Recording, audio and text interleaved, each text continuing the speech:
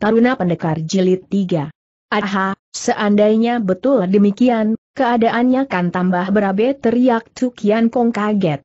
Siapa tahu kalau kitab pusaka itu sudah terjatuh ke tangan budak tersebut? Satu segera menghela napas panjang. Aaai, yang paling ku khawatirkan justru adalah hal ini, katanya, andai kata benar-benar sampai begitu, ya, Sekalipun bukan disebabkan kitab pusaka ilmu silat itu, aku juga akan membalaskan dendam bagi kematian Suteku. Meski ilmu pedang yang dimiliki budak itu sangat lihai, dengan kepandaian yang Taisu miliki, aku percaya kau tak akan keok di tangannya. Andai kata kau tidak keberatan, aku pun bersedia membantu usahamu itu. Kita cari Lian Loto Adan bersama-sama menghadapinya. Menurut apa yang ku ketahui, budak itu sedang mencari jejak Nio yang kita tak perlu membuat perhitungan dengan mendatangi Bukit Tiansan, asal kita bunuh budak itu secara menggelap, pihak Tiansan Pei tak akan mengira kalau pembunuhan tersebut kita yang melakukan.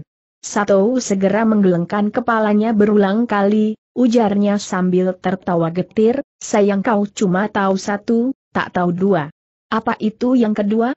Tiga bulan berselang, Teng Keng Tian ketua dari Tian San Pei telah wafat, sekarang jabatan ketua partai telah digantikan oleh Teng Kaguan, putra Teng Keng Tian. Apa sangkut pautnya antara peristiwa itu dengan usaha kita untuk membuat perhitungan dengan budak tersebut? Hubungannya besar sekali. Sebelum meninggal dunia, Teng Keng Tian telah mewariskan pedang mestika Pengpok Hong Kong Kiam kepada Leng Ping Ji.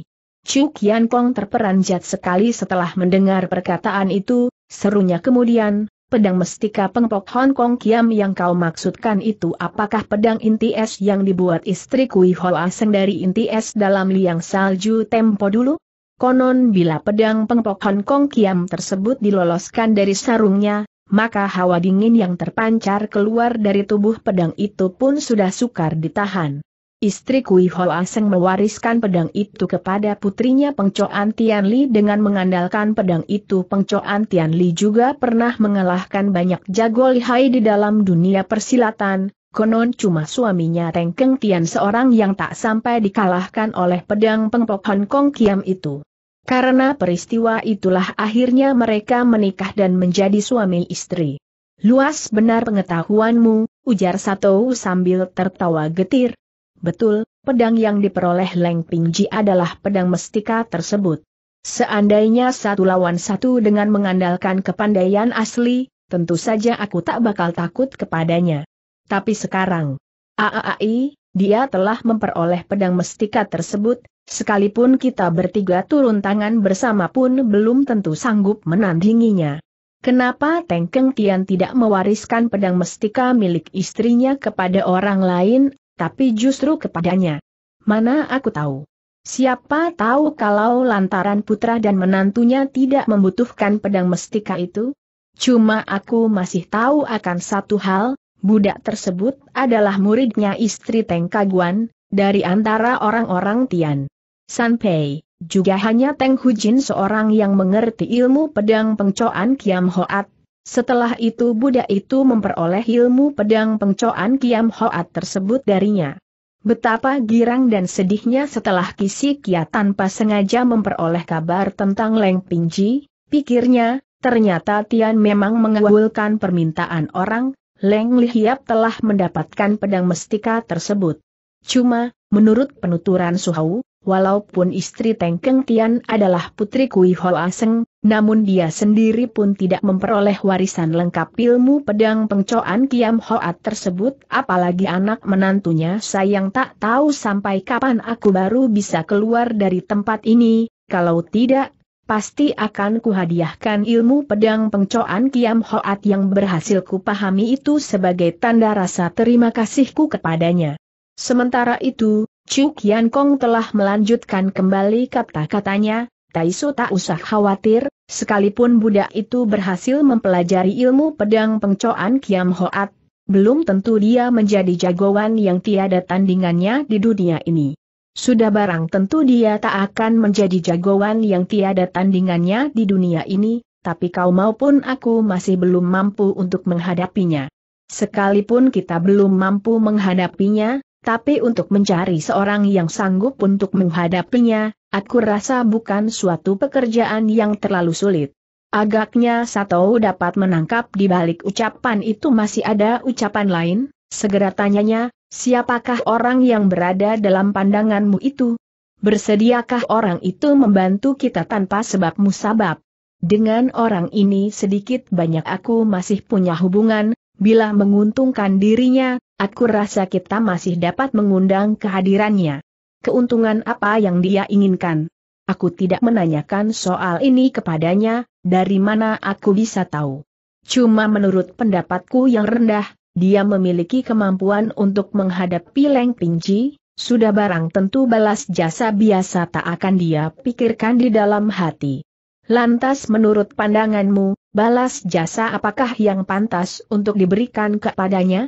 Misalnya saja bila kita berhasil memperoleh kitab pusaka peninggalan Kui Hoa Seng, kemudian kita bagikan kebaikan itu kepadanya aku yakin dia pasti akan bersedia untuk membantu usaha kita. Satu segera tertawa getir. Seandainya kita berhasil mendapatkan kitab pusaka itu 35 tahun kemudian kepandaian yang kita miliki sudah cukup untuk menghadapi budak tersebut, kenapa mesti meminta bantuan orang lain? Benar, makanya tindakan yang harus kita lakukan dengan segera adalah menyelidiki dahulu jejak dari Sutemu. Apakah ia terbunuh oleh budak itu ataukah bersembunyi setelah mendapatkan kitab pusaka ilmu silat itu? Sekarang tak usah kita pikirkan yang bukan-bukan lebih dulu. Apalagi membicarakan soal mencari orang untuk membalaskan dendam, apakah ucapan ini tidak terlampau awal? Mendengar ucapan orang itu, Sato lantas berpikir, bangsat ini betul-betul sangat licik, dia enggan menyebut nama orang itu tapi selalu berusaha untuk memancing rahasiaku baik kenapa tidak kugunakan siasat lawan siasat untuk memperalat dirinya? Cuma, aku pun tak boleh bertindak terlampau tergesa-gesa, lebih baik kuajak dia membicarakan soal-soal yang lain lebih dulu daripada menimbulkan kecurigaan di dalam hatinya. Begitulah, setelah beberapa saat lamanya, tiba-tiba Satou berkata lagi, aku mempunyai suatu masalah yang tak dapat kupahami, Dapatkah kau membantuku untuk memecahkan masalah tersebut? Masalah apa? Bukankah kau pernah bilang, kejadian itu berlangsung gara-gara seorang bocah keparat yang bernama Kisi Kiat? Bagaimana ceritanya sehingga bocah keparat itu bisa sampai di kota iblis? Sebenarnya kau atau Lian Kan Pei yang mempunyai ikatan dendam dengan bocah keparat ini? Menurut apa yang diketahui, Suteku tak pernah berhubungan apalagi bermusuhan dengan keluarga Ki. Chu Kian Kong segera tertawa. Sebelum peristiwa itu terjadi, jangankan bersuha muka, mendengar namanya pun tidak. Menurut apa yang ku ketahui, sekalipun Lian Lotoa mengetahui asal-usul dari bocah keparat ini, sebelum dia menyaru sebagai seorang pemandu jalan, belum pernah ia bertemu dengan bocah keparat itu. Yang tidak kupahami justru hal ini, kalau toh tujuan kedatangan kalian adalah mencari kitab pusaka peninggalan Kui Hoa Seng, seharusnya makin sedikit orang yang mengetahui tentang kitab pusaka itu semakin baik. Kalau memang bocah keparat itu tiada dendam sakit hati apa-apa. Dengan kalian, mengapa pula kalian mesti memancing kehadirannya di kota iblis untuk dibunuh? Persoalan ini merupakan persoalan yang sampai kini membingungkan Kisi Kiat, dari dulu sampai sekarang ia masih dibikin tak habis mengerti. Maka tanpa terasa pemuda itu lantas memasang telinga baik-baik dan mendengarkannya dengan seksama. Terdengar Chu Kian Kong berkata, tak menjadi soal bila Taisu ingin mengetahui rahasia ini. Terus terang saja, kami bermaksud mencelakai bocah keparat ini bukan dikarenakan kami ada dendam dengan dia, tapi karena mendapat pesan dari orang lain. Kenapa orang itu hendak mencelakai Kisi Kiat? Taisu, tentunya kau juga tahu bukan tentang asal-usul dari Kisi Kiat si bocah keparat itu. Aku tahu dia adalah keturunan dari keluarga persilatan di daratan Tionggoan. Ye-anya bernama Suhei Ye Uliong, naga sakti dari empat penjuru, Kikian Yap, sedang ibunya adalah Lak Jiu Koan Im, Koan Im bertangan keji, Nio Toa Koh.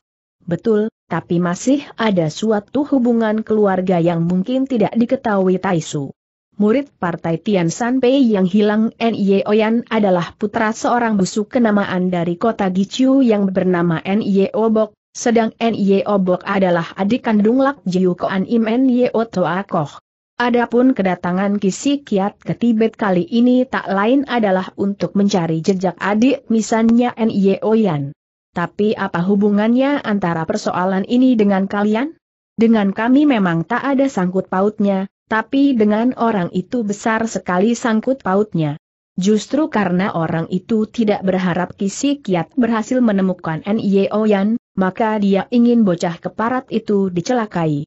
Ah ah ah, Aku mengerti sekarang, seru Sato seperti menyadari akan sesuatu, bukankah orang yang menyuruh kalian membunuh Kisi Kiat adalah Toan Kiam Cheng? Betul jawab Tsu Kian Kong sambil tertawa, orang yang kumaksud sebagai manusia yang dapat menghadapi Leng Pingji tadi pun tak lain adalah Toan Kiam Cheng. Sato menjadi paham, demikian pula dengan Kisi Kiat. Segera pikirnya kemudian, ternyata orang yang ingin mencelakai diriku adalah Toan Kiam Cheng si bocah keparat itu, tajam betul pendengarannya, baru saja aku tiba di Tibet, dia sudah tahu. Entah bersembunyi di manakah bocah keparat itu.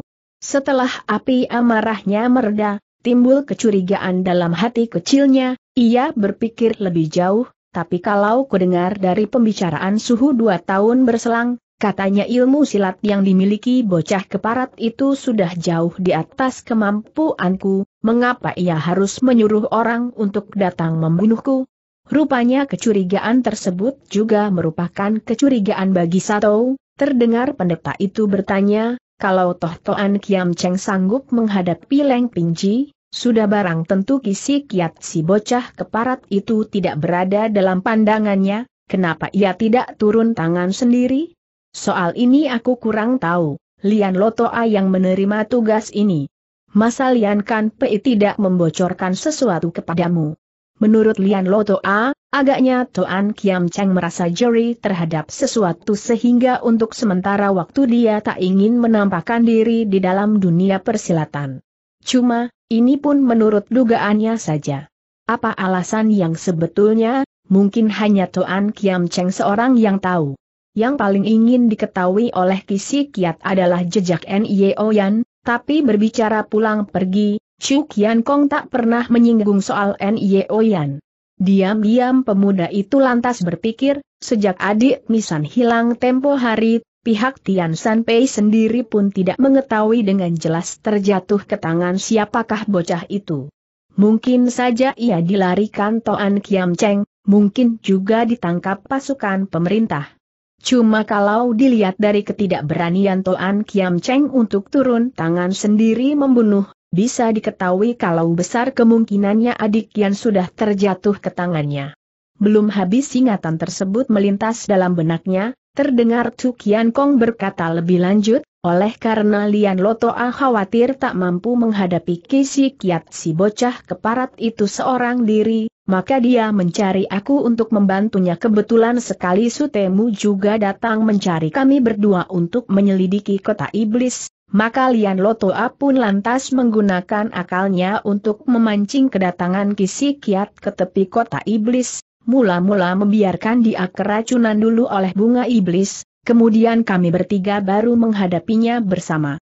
Siapa tahu manusia ada kemauan Tian punya kuasa, baru saja kami akan berhasil membekuk kisi kiat si bocah keparat itu, tahu-tahu Leng Pingji si budak ingusan itu memunculkan diri di situ. Apakah Suteku tahu kalau orang yang memberi tugas adalah Toan Kiam Cheng tiba-tiba Satou bertanya. Chu Kian Kong segera berpikir, kalau toh dia bisa mengajukan pertanyaan tersebut, berarti sekalipun tidak kuberitahukan kepadanya, sudah pasti dia pun dapat memahami alasannya. Maka dengan jujur sahutnya, dia tidak tahu mengapa tidak memberitahukan kepadanya.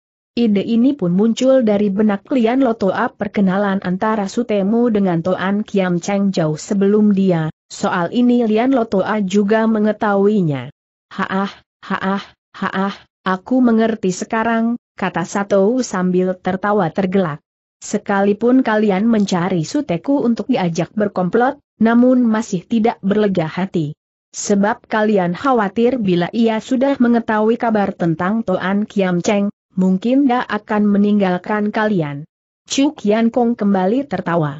Tidak aneh jika Lian Lotoa mengkhawatirkan soal ini.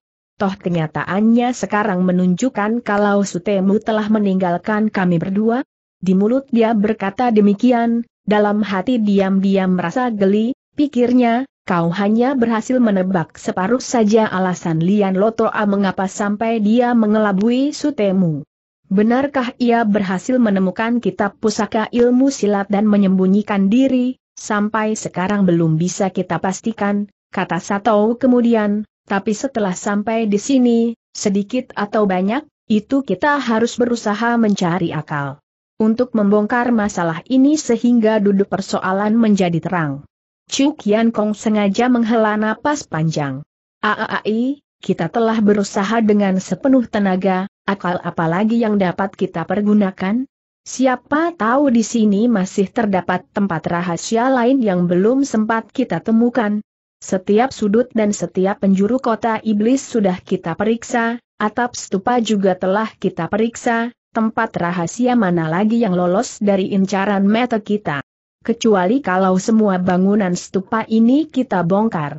Betul, siapa tahu kalau mestika itu tertanam di dalam tanah sambung satu sambil tertawa terkekeh-kekeh. Wah, kita harus membuang berapa banyak tenaga dan pikiran untuk bisa menggalinya? Siapa tahu kita bernasib mujur dan tanpa sengaja berhasil menemukan ruang rahasia di bawah tanah. Tergerak hati Kisi Kiat yang berada di bawah Liang Es setelah mendengar perkataan itu, pikirnya, jangan-jangan dia sudah mengetahui Carol untuk membuka pintu rahasia tersebut, tapi belum tahu kalau di dasar sini adalah sebuah liang salju. Sementara itu, Chu Kian Kong yang berada di atas pun merasakan hatinya tergerak, buru-buru ujarnya, Taisu, Selama dua tahun belakangan ini aku selalu menjumpai kejadian-kejadian yang tidak berkenan di hatiku, tak usah mencari orang untuk melihatkan nasibku, aku juga tahu kalau saat ini aku berada di roda nasib lemah. Seandainya benar-benar bisa bernasib mujur maka kesemuanya ini terpaksa harus menggantungkan kepadamu. Aku pernah mempelajari pengetahuan tentang alat rahasia, aku memang berniat untuk mencobanya. Cuma saja ada sepatah dua patah kata aku merasa perlu untuk mengutarakannya lebih dulu daripada di kemudian hari terjadi perselisihan.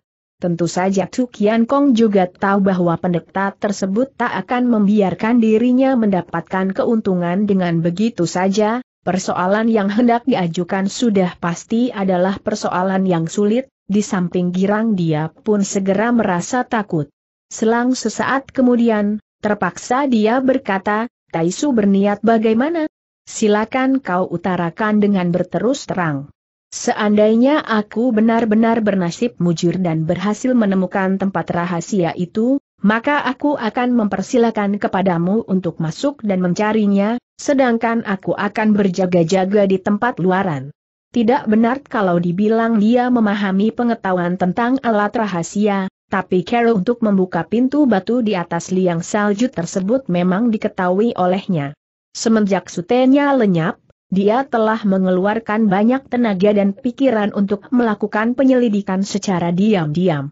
Ia mendapat tahu bahwa sutenya pernah berkunjung ke rumah seseorang beberapa hari sebelum ia berangkat ke kota iblis. Dulunya orang itu adalah seorang pentolan penyamun, dia ini bersama anak buahnya pernah menginap semalam di kota iblis, tapi akhirnya kecuali dia seorang, hampir seluruhnya mati di situ. Kendati pun orang itu bisa pulang dalam keadaan hidup, tapi sejak itu pula dia jatuh sakit.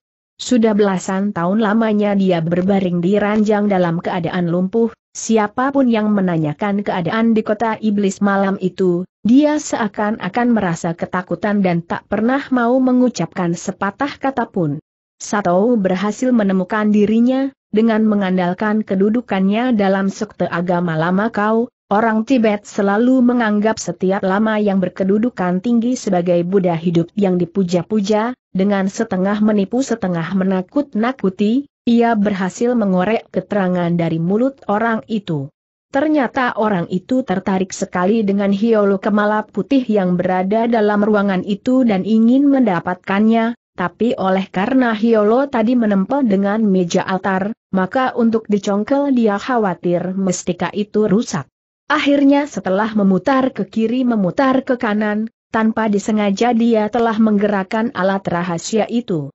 Begitu pintu rahasia itu terbuka, dari dalam liang salju segera berhembus keluar udara dingin yang luar biasa dahsyatnya dan seketika itu juga membinasakan segenap anak buahnya.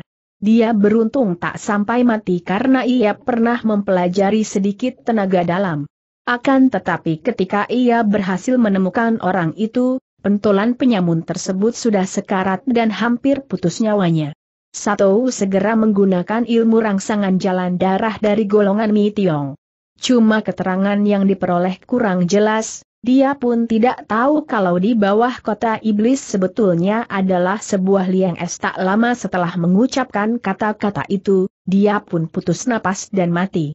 Sato sendiri seperti juga orang itu, tak bisa menduga keanehan apakah yang ada di bawah kota iblis, tapi kalau membayangkan kematian yang menimpa orang-orang itu, tanpa terasa bergidi karena ngeri. Itulah sebabnya walaupun dia tahu Carol untuk membuka pintu batu itu, akan tetapi tak berani mencobanya sendiri, dia membutuhkan seseorang untuk dijadikan korban. Sudah barang tentu Tu Kian Kong bukan seorang yang gampang masuk perangkap, setelah mendengar keterangan dari Sato, dia pun lantas teringat akan suatu hal. Tempo hari, ketika mereka bertiga berkomplot hendak mencelakai Kisi Kiat, orang yang paling getol untuk mempertahankan korbannya dalam keadaan hidup adalah Sacam, adik seperguruan satu. Padahal menurut pesan dari Toan Kiam Cheng, biar mati atau hidup keduanya sama saja. Waktu itu Lian Kan Pei pernah bertanya kepada Sacam, ilmu silat yang dimiliki Kisi Kiat si bacot keparat itu tidak lemah, untuk menangkapnya dalam keadaan hidup jelas sukar sekali. Mengapa tidak sekali bacok habisi saja jiwanya? Toh si penyuruh tugas ini juga hanya menghendaki batok kepala bangsat itu. Waktu itu Sacam tidak menerangkan alasannya, dia hanya berkata sambil tersenyum, kalian mencari aku untuk berkomplot menyelesaikan persoalan ini, aku tak ingin minta bayaran, Aku hanya ingin meminjam bocah keparat itu selama tiga hari saja, tiga hari kemudian, aku pasti akan memenggal batok kepalanya dan diserahkan kepada kalian. Sekarang setelah Tu Kian Kong mendengar perkataan Sato, lalu mencocokkan kembali dengan peristiwa itu, dengan cepat dia mengerti, pikirnya kemudian, rupanya mereka Suheng Te berdua mempunyai hati yang sama, kalau Sacam ingin menggunakan kisi kiat sebagai kelinci percobaan, maka Sato ingin menggunakan aku sebagai kelinci percobaan. Akan tetapi berhubung ada keuntungan besar di depan mata, dan ilmu silat yang dimiliki Sato jauh di atas kepandaiannya, bila ia tidak mengabulkan mungkin Sato akan marah. Maka bersediakah menjadi kelinci percobaan masih merupakan sebuah tanda tanya besar baginya. Masa kau tidak percaya pada diriku kata Sato dengan ketus. Seandainya kitab pusaka peninggalan Kui Hoaseng itu berhasil kutemukan, tak nanti aku akan mengangkanginya sendiri atau kubunuh dirimu. Aku berani bersumpah kepada langit, bila kuingkari janji ini, biarlah aku mati tidak sempurna. Aha, Taisu adalah seorang pendeta agung, masa aku tidak percaya perkataan Taisu, kata Tukian Kong Sambi, tertawa paksa. Cuma, cuma. Sato segera berkerut kening. Kalau ada persoalan cepat katakan, tegurnya. Andai kata di bawah sana benar-benar terdapat sebuah ruang rahasia, apa salahnya kalau kita turun bersama? Jadi kalau ada apa-apa, kita pun bisa saling membantu, kan ini lebih baik. Oha, rupanya kau takut menghadapi bahaya, kata Sato sambil tertawa dingin, tapi kenapa tidak kau pikirkan, seandainya aku tak membagi bahaya ini untukmu, kenapa? Pula aku mesti membagi kebaikannya denganmu. Bila di bawah ada bahaya, memangnya di atas tak mungkin ada bahaya? Seandainya kita tidak berjaga-jaga di atas, bila ada orang yang datang, niscaya kita akan terpendam untuk selamanya di bawah situ. Aku sudah mencari ruang rahasia itu, membagi tanggung jawab denganmu, HMM, kalau dibicarakan yang sebenarnya kaulah yang lebih beruntung daripada aku. Kisi Kiat yang berada di bawah merasakan jantungnya berdebar keras setelah mendengar ucapan itu, dia sangat berharap bisa melihat matahari lagi, sekalipun ilmu silat peninggalan dari Kui Hoasen harus dipersembahkan, dia pun. Dalam pada itu, Chu Kian Kong telah mempertimbangkannya berulang kali, ia tahu jika perintahnya ditentang, sudah pasti keadaan tersebut tidak menguntungkannya, Sebaliknya jika menyerempet bahaya belum tentu hal itu merugikan dirinya. Maka sesudah mempertimbangkan sesaat, dia pun berkata, baik, perkataan seorang kuncu bagaikan kuda yang dicambuk. Apa yang telah kita ucapkan, tak akan disesali oleh siapa pun. Satu segera tertawa terbahak-bahak. Haah, haah, haah, betul, begini baru sahabat sejati namanya. Di tengah gelak tawa, dia mendekati Hiolo Kemala Putih yang berada di atas meja dan memutarnya pelan-pelan. Kisik ya tahu, bila Hiolo Kemala Putih itu diputar maka pintu batu segera akan terbuka, dia pun dapat melihat matahari lagi. Menunggu detik-detik terakhir itu, Kisi Kiat merasa waktu berlalu amat lambat ibarat siput yang merangkak saja. Ia dapat mendengar suara hiolo yang diputar, dalam perkiraannya hiolo itu mungkin sudah diputar sampai setengah jalan, tanpa terasa di hati kecilnya dia berseru, cepat sedikit, cepat sedikit. Siapa tahu pada detik-detik terakhir itu, mendadak terjadi suatu perubahan besar yang sama sekali tak terduga. Mula-mula terdengar Cukian Kong berteriak keras, aduh celaka. Menyusul kemudian satu membentak, Mau apa kau? Membron. Ucapan itu tidak sempat dilanjutkan lagi, sebab terdengar suara langkah kaki Tukian Kong berlarian meninggalkan ruangan sambil berteriak-teriak keras, cepat kabur, cepat keluar dari sini. Menyusul terdengar suara melangkah satu yang kabur meninggalkan tempat itu pula. Kisi Kiat segera mendekam dan menempelkan telinganya di tanah, terdengar suara langkah kaki kedua orang itu makin menjauh dan akhirnya tidak terdengar lagi. Kenyataan ini membuat anak muda tersebut menjadi tertegun, dengan penuh tanda tanya dia berpikir, heran, apa yang mereka jumpai? Apakah Sukian Kong menyesal pada detik-detik yang terakhir dan melancarkan sergapan ke arah satu? Ataukah mereka telah menjumpai suatu serangan mendadak yang sama sekali di luar dugaan? Belum habis ingatan tersebut melintas, mendadak dari dasar tanah seakan-akan terjadi getaran keras, menyusul. Kemudian dinding batu di empat penjuru turut bergoyang kencang, pasir dan salju berguguran semacam itu, tapi anehnya setelah suara gemuruh itu lewat, pintu gua tetap tertutup dengan rapat. Kala guncangan dari dasar tanah makin lama semakin keras dan kencang, dari dasar tanah seakan-akan muncul segulung udara panas yang menyengat badan. Gemuruh keras seperti suara guntur berkumandang terus tiada hentinya, batu besar mulai turut berguguran bersama dengan longsornya tanah dan pasir. Kemudian ia pun mendengar suara rumah yang roboh. Tak terlukiskan rasa kaget Kisi Kiat menghadapi kejadian tersebut, pikirnya kemudian, Jangan-jangan inilah yang dinamakan gempa bumi? Sekarang dia baru tahu, rupanya yang dijumpai Tukian Kong dan Satou tadi bukan bencana yang datang dari manusia, melainkan bencana alam. Dalam liang salju itu pun berkumandang suara letusan beruntun tiada hentinya, itulah suara merekahnya lapisan salju bagian atas dari sungai es karena guncangan gempa.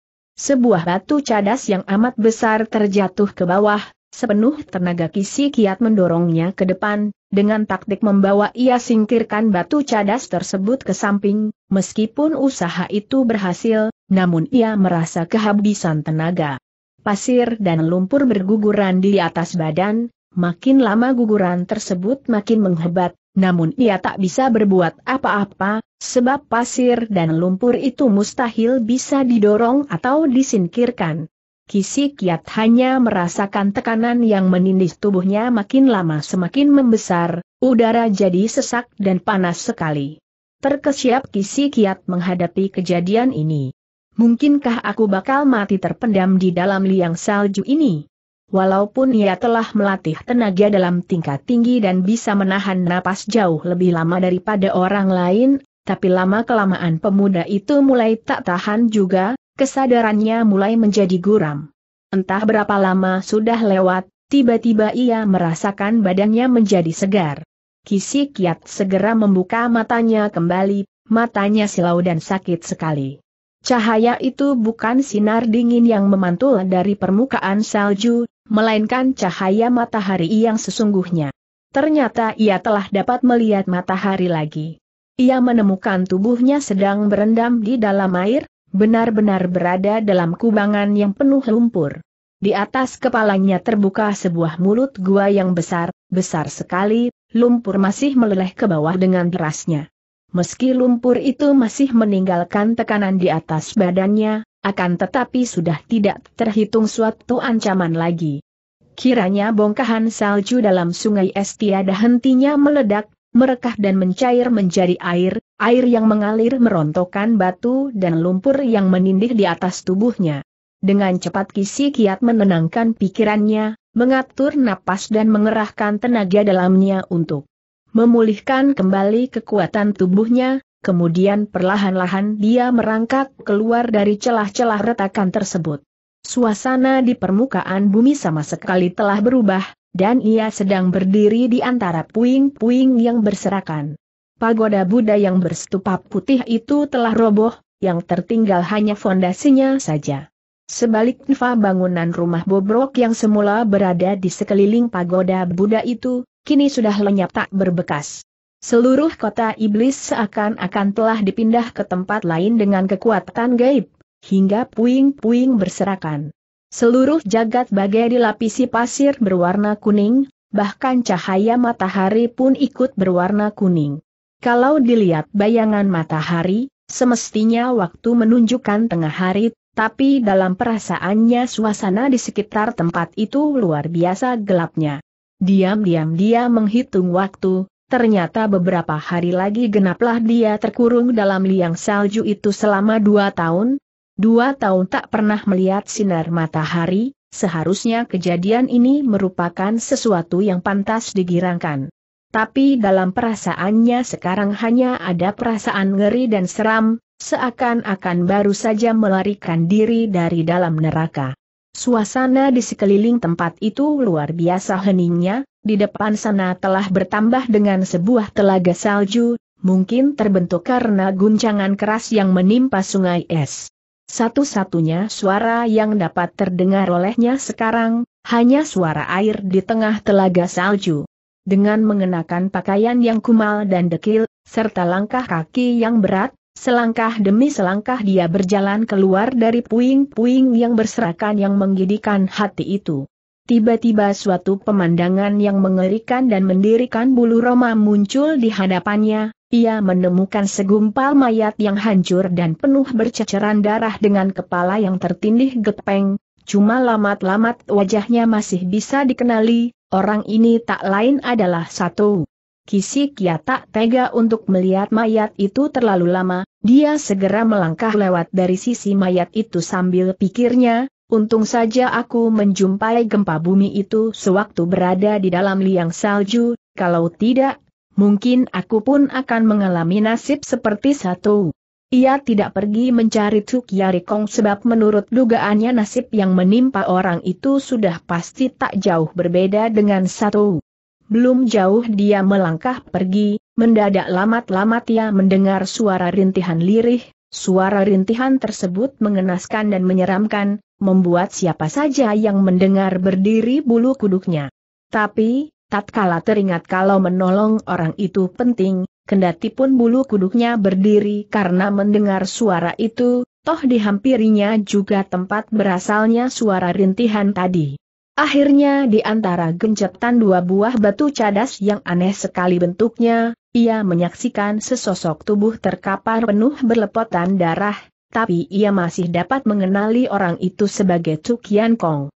Ternyata Tuk Yan Kong sedang bersembunyi di dalam sebuah gua yang terbentuk dari susunan batu cadas ketika Guncangan gempa bumi makin menjadi, maksudnya dia ingin menghindarkan diri dari tindihan batu cadas yang menggelinding jatuh dari atas bukit siapa tahu, batu cadas tidak menindihnya, tapi batuan yang berbentuk gua itu telah bergeser dan berubah bentuknya, akibat dari pergeseran kulit bumi batuan itu saling menggencet satu sama lainnya yang mengakibatkan tubuh Chu Kian Kong tergencet di tengah.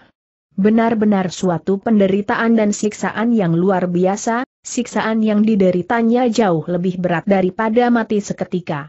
Sewaktu Chu Kian Kong melihat kemunculan Kisi Kiat, tanpa sadar ia menjerit keras, kau, kau ini manusia atau setan? Aku tentu saja manusia, masakah sudah tidak mengenali diriku lagi? Aku adalah Kisi Kiat yang pernah kau jumpai di sini pada dua tahun berselang.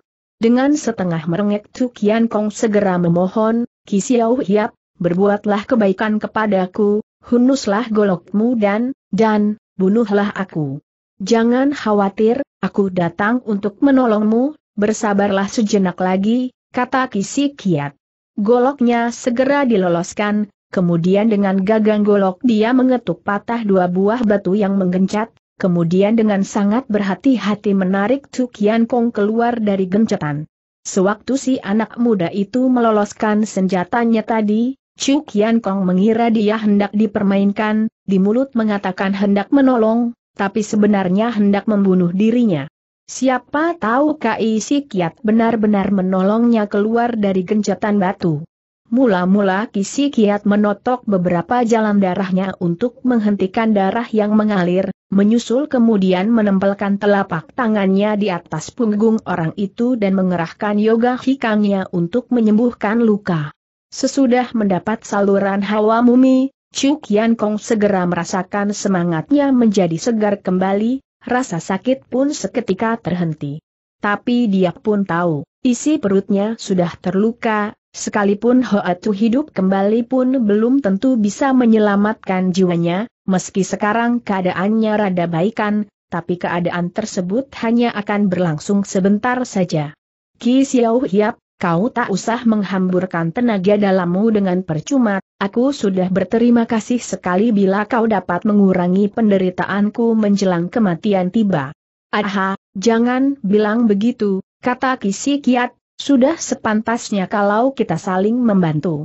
Kau tak usah memikirkan yang bukan-bukan, siapa tahu orang baik dilindungi Tian, kau akan sembuh kembali. Chu Kian Kong tertawa getir. Ki Xiao Hiap, terima kasih banyak atas maksud baikmu, Entah aku akan mati atau hidup, aku akan berterima kasih kepadamu. Tapi mungkin aku sudah tak memiliki banyak waktu lagi untuk berbicara denganmu, ada satu hal harus segera aku beritahukan kepadamu. Butiran air mata meleleh keluar dari ujung matanya, kobaran hati orang itu terasa amat panas. Selama hidupnya, teman yang dimilikinya, kalau bukan saling menipu, tentulah saling memperalat, mereka tak lebih. Hanya manusia-manusia yang mau hidup bersama bila senang, hidup sendiri-sendiri kalau sedang susah. Tak disangka olehnya seseorang yang hampir saja mati di tangannya, orang yang seharusnya menganggap dia sebagai musuh besarnya, ternyata bersikap begitu baik kepadanya, semuanya ini membuat ia merasa malu bercampur menyesal. Diam-diam pikirnya, aku mengira dia masih akan menyiksaku secara pelan-pelan, siapa tahu ternyata ia tak sayang-sayangnya mengorbankan hawa muminya untuk menyembuhkan diriku, aku benar-benar telah menggunakan pikiran seorang Xiao Jin untuk menilai kebesaran jiwa seorang kuncu. Sementara itu, Kisi Kia telah berkata sambil tersenyum, beristirahatlah dahulu, kemudian bara bicara lagi. Tidak, aku harus segera memberitahukan kepadamu. Tempo hari, orang yang memerintahkan kami untuk mencelakai dirimu adalah Toan Kiam Cheng. Kau harus berhati-hati terhadap bocah keparat itu. Terima kasih atas perhatianmu, aku sudah mengetahui akan hal ini. Chu Kian Kong menjadi tertegun setelah mendengar perkataan itu, kembali serunya, jadi kau telah mendengar semua pembicaraanku dengan satu? Benar. Ki Xiao Hiap, Aku merasa amat malu kepadamu. Aku benar-benar merasa menyesal sekali, seru Tu Kian Kong dengan air mata bercucuran membasahi seluruh wajahnya. Mendadak dengan merentangkan jari tangannya sekeras tombak, dia menotok sendiri jalan darah Wigi Hiat di dada kirinya sekuat tenaga. Ternyata dia tahu kalau jiwanya tak mungkin bisa tertolong lagi, maka menggunakan kesempatan mumpung masih ada tenaga, dia ingin menghabisi nyawa sendiri. Dengan lembut Kisi Kiat menyingkirkan tangannya ke samping, lalu berkata, kejadian yang sudah lewat tak usah disinggung kembali, asal kau mau bertobat dan kembali ke jalan yang benar, itu sudah lebih dari cukup. Nah sekarang, apakah kau sudah merasa agak baikan? Chu Kian Kong tak sanggup mengucapkan sepatah kata pun, ia tertegun dibuatnya. Ternyata sewaktu dia hendak menotok jalan darah kematian sendiri tadi, Sebenarnya ia bermaksud mengerahkan tenaga dalamnya agar totokan itu lebih keras, siapa tahu, secara tiba-tiba dirasakannya hawa muminya telah berjalan dengan lancar, sama sekali tiada halangan apa-apa lagi. Padahal sebelum itu, dia pun pernah mencoba untuk mengerahkan tenaga dalamnya, tapi setiap kali mencapai bagian yang terluka parah hawa murni itu tak dapat tembus.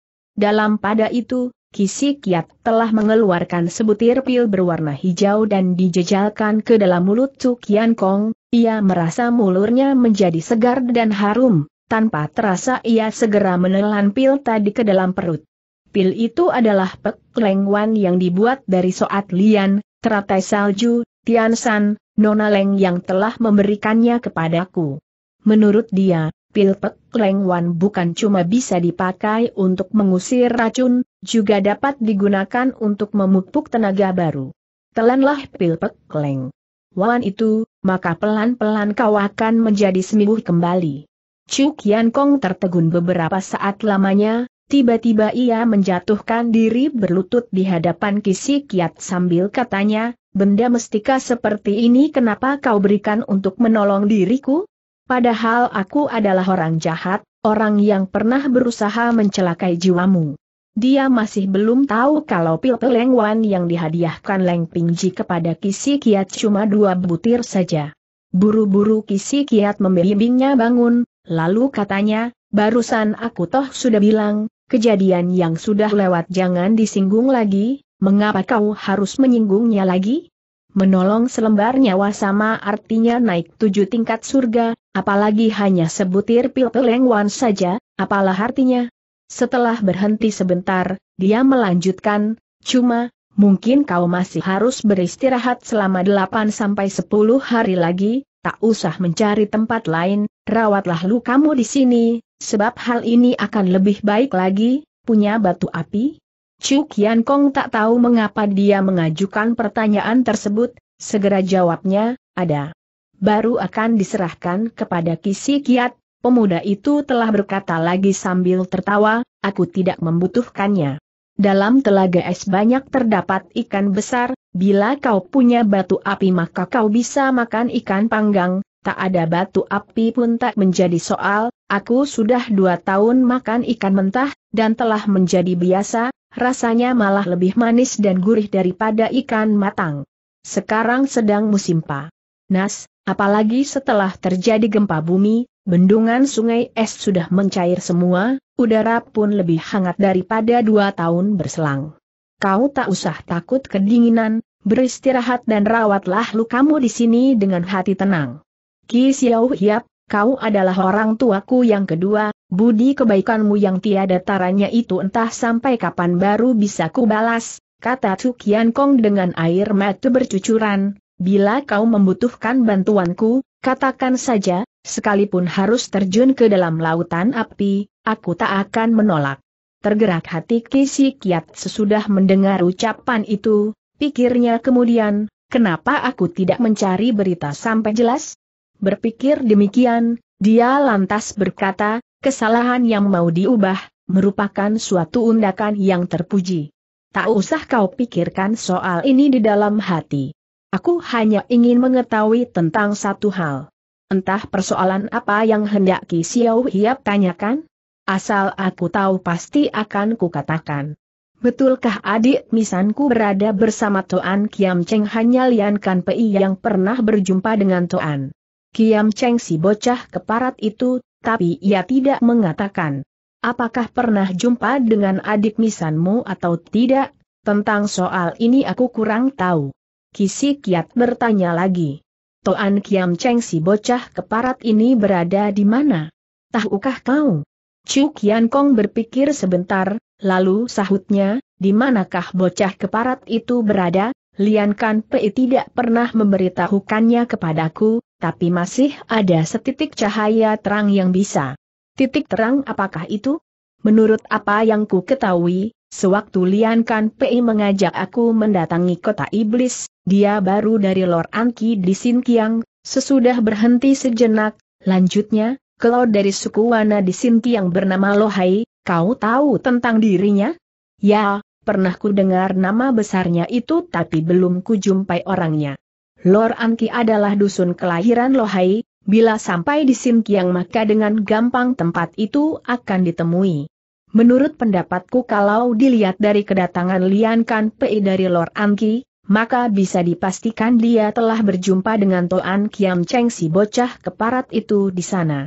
Lohai mempunyai hubungan yang sangat baik dengan pihak Tian San Pei tak ada salahnya kalau kau minta kepadanya untuk membantumu melakukan penyelidikan. Terima kasih atas petunjukmu, masih ada satu hal lagi. Menurut Lian Kan Pei, waktu itu Toan Kiam Cheng si bocah keparat sedang melatih semacam ilmu silat yang luar biasa hebatnya, konon tinggal setingkat saja sudah akan mencapai kesempurnaan, Mungkin inilah salah satu alasannya mengapa ia tidak turun tangan sendiri. Tapi sekapang sudah pasti ilmunya sudah berhasil. Ki Xiao Hiap, kau harus amat berhati-hati terhadap dirinya. Terima kasih banyak atas perhatianmu, aku dapat menghadapinya secara baik-baik. Sesudah berpisah dengan Chu Kian Kong, Kisi Kiat segera turun gunung seorang diri. Setelah dua tahun hidup dalam salju, kini selain dapat melihat matahari lagi, juga memperoleh kabar tentang Toan. Kiam Cheng, Kisi Kiat merasakan hatinya luar biasa gembira dan riang. Memandang sungai es yang meliuk-liuk sepanjang bukit, seakan-akan naga perak yang sedang melingkar, tanpa terasa pengetahuannya tentang ilmu pedang pengcoan Kiam Hoat menjadi setingkat lebih dalam lagi. Tanpa terasa dia pun membayangkan Leng Ping Ji. Sebenarnya dia memang ingin menyerahkan ilmu pedang pengcoan Kiam Hoat pada Leng Pengji. Jarak dari Lor Anki di Sinkiang dengan Bukit Tian San meski jauhnya mencapai ribuan li, tapi letaknya sama-sama berada di wilayah Sinkiang, tanpa terasa dia berpikir lagi, entah saat ini Leng Pingji berada di mana.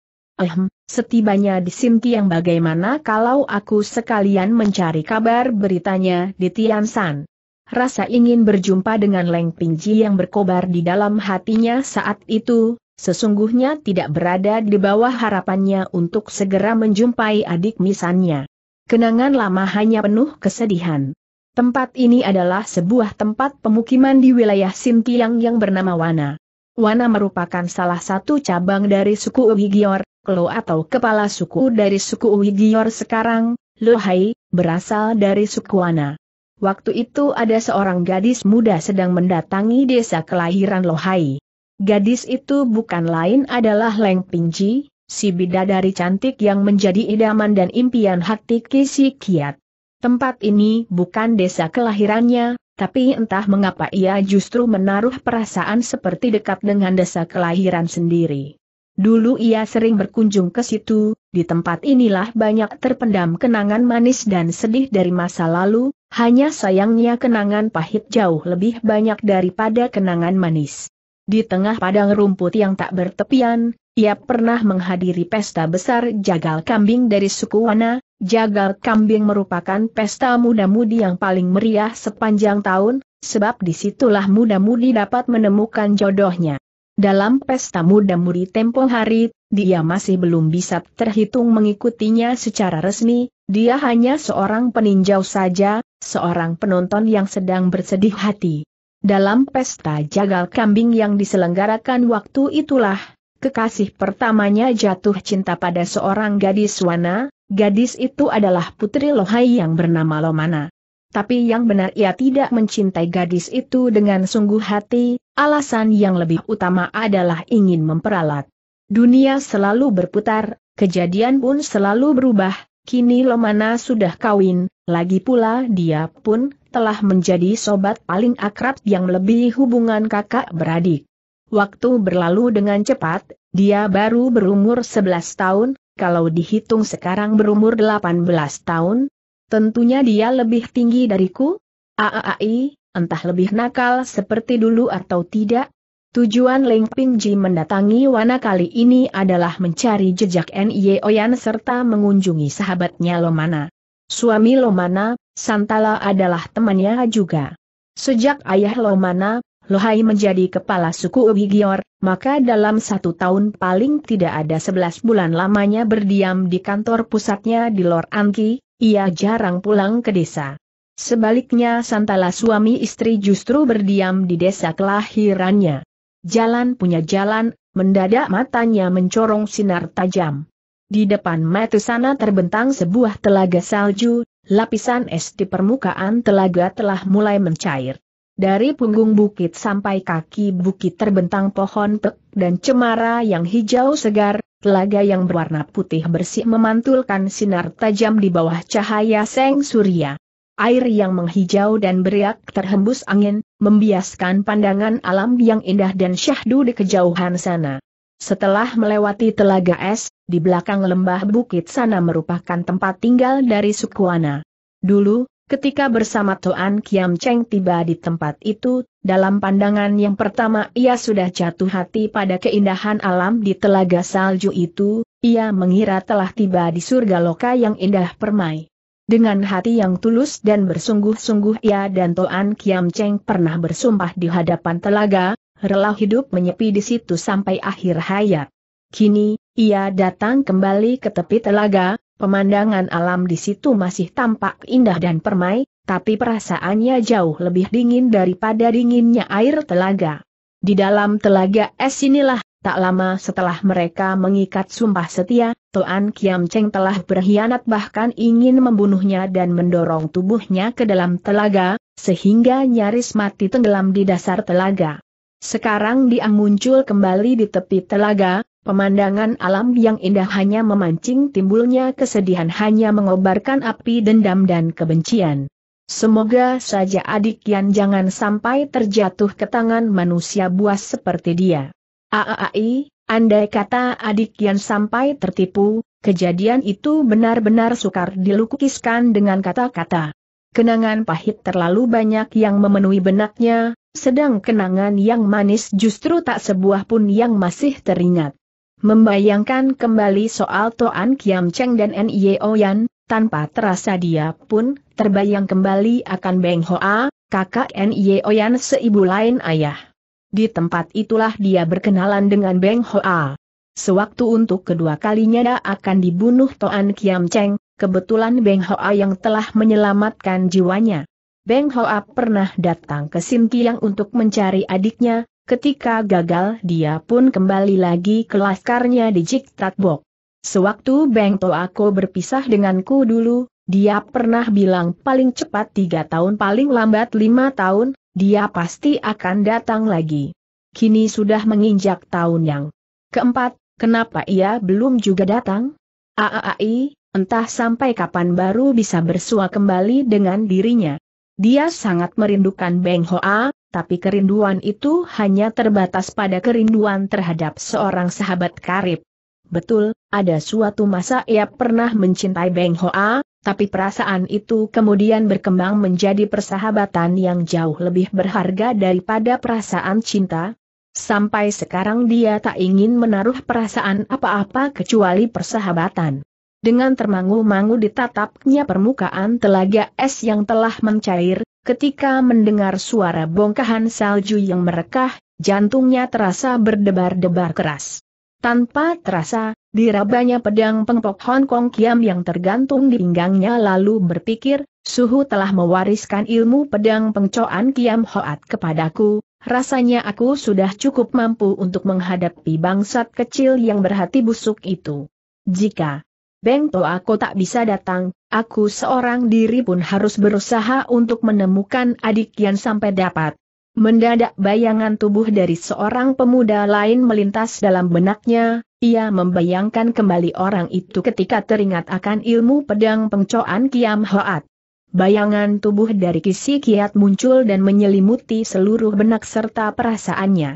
Dia tidak terlalu sering membayangkan kisi kiat seperti pula dia selalu berusaha untuk menghindarkan pikirannya melayang ke wajah Toan Kiam Cheng. Walaupun kedua orang ini tak bisa dikatakan sama, namun baginya, entah mengapa, justru terasa ada setitik kesamaan di antara mereka berdua. Ilmu silat mahasakti untuk mereka yang berjodoh, entah ia berhasil menemukan apa di dalam kota iblis. Andai kata dia telah berhasil mendapatkan ilmu pedang pengcoan Kiam Hoat, maka aku pun tak usah mengkhawatirkan keselamatannya lagi.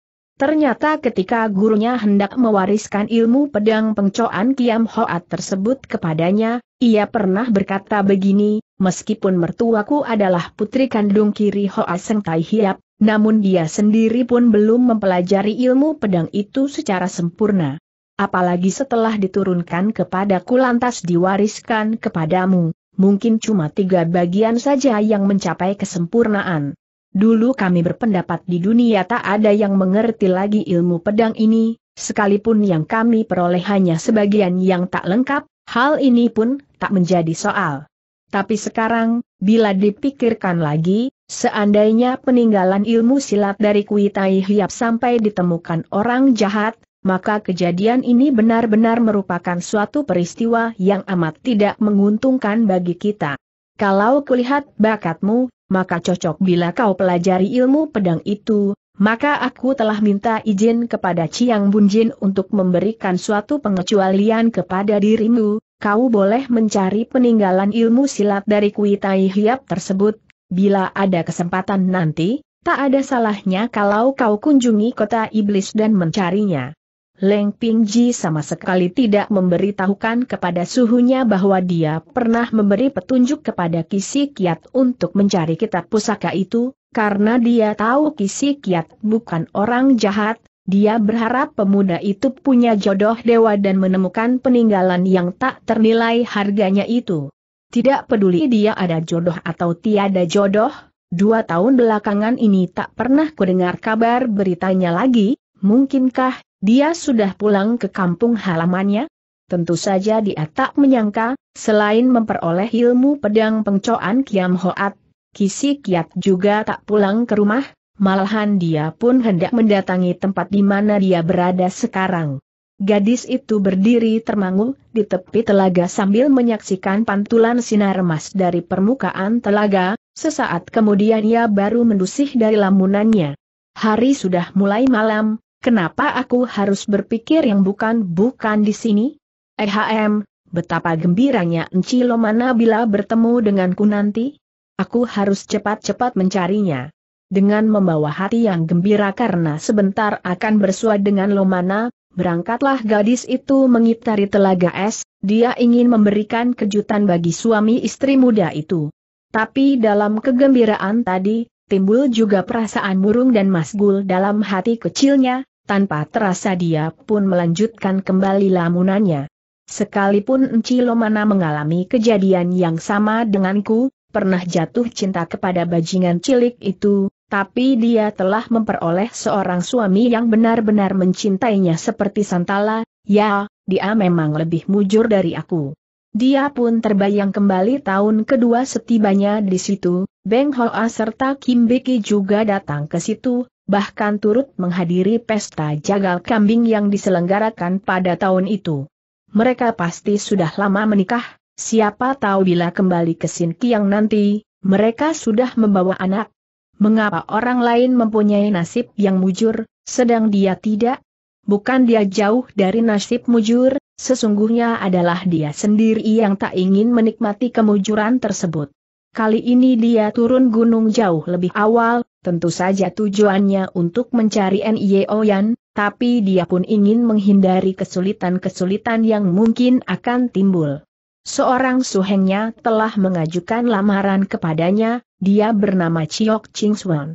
ayah Chiok Ching Suan adalah salah seorang dari empat murid utama Tian San Pei, Chiok Tiang Hing. Setelah Tengkeng Tian meninggal dunia, Tiang Lo yang berkedudukan paling tinggi di dalam partai Tian San adalah Chiong Tian, dia adalah kakak seperguruan Tengkeng Tian, usianya juga lebih besar daripada Tengkeng Tian. Chiong Tian mempunyai dua orang murid kesayangan, yang seorang bernama Pek Yan Seng sedang yang lain bernama Kam Bui. Selama Tengkeng Tian menjabat ketua Tian San Pei, keempat orang ini sudah merupakan jago-jago persilatan yang termasyhur namanya di seantero jagat, bahkan mereka ternama jauh sebelum Teng Kaguan, putra Tengkeng Tian menjadi ternama, karena itu keempat orang jago tersebut disebut sebagai empat murid utama dari Tian San. Empat murid utama dari Tian San kini telah mencapai usia 50 tahunan, putra-putri mereka pun hampir semuanya telah berkeluarga, satu-satunya yang belum beristri tinggal Chiok Ching Swan, putra tunggal dari Chiok Tiang Hing. Chiok Ching Swan adalah seorang bunbu Choan Kai, pandai dalam ilmu silat maupun ilmu sastra, paras mukanya pun tampan, dia boleh dibilang merupakan murid yang paling menonjol dalam angkatan ketiga.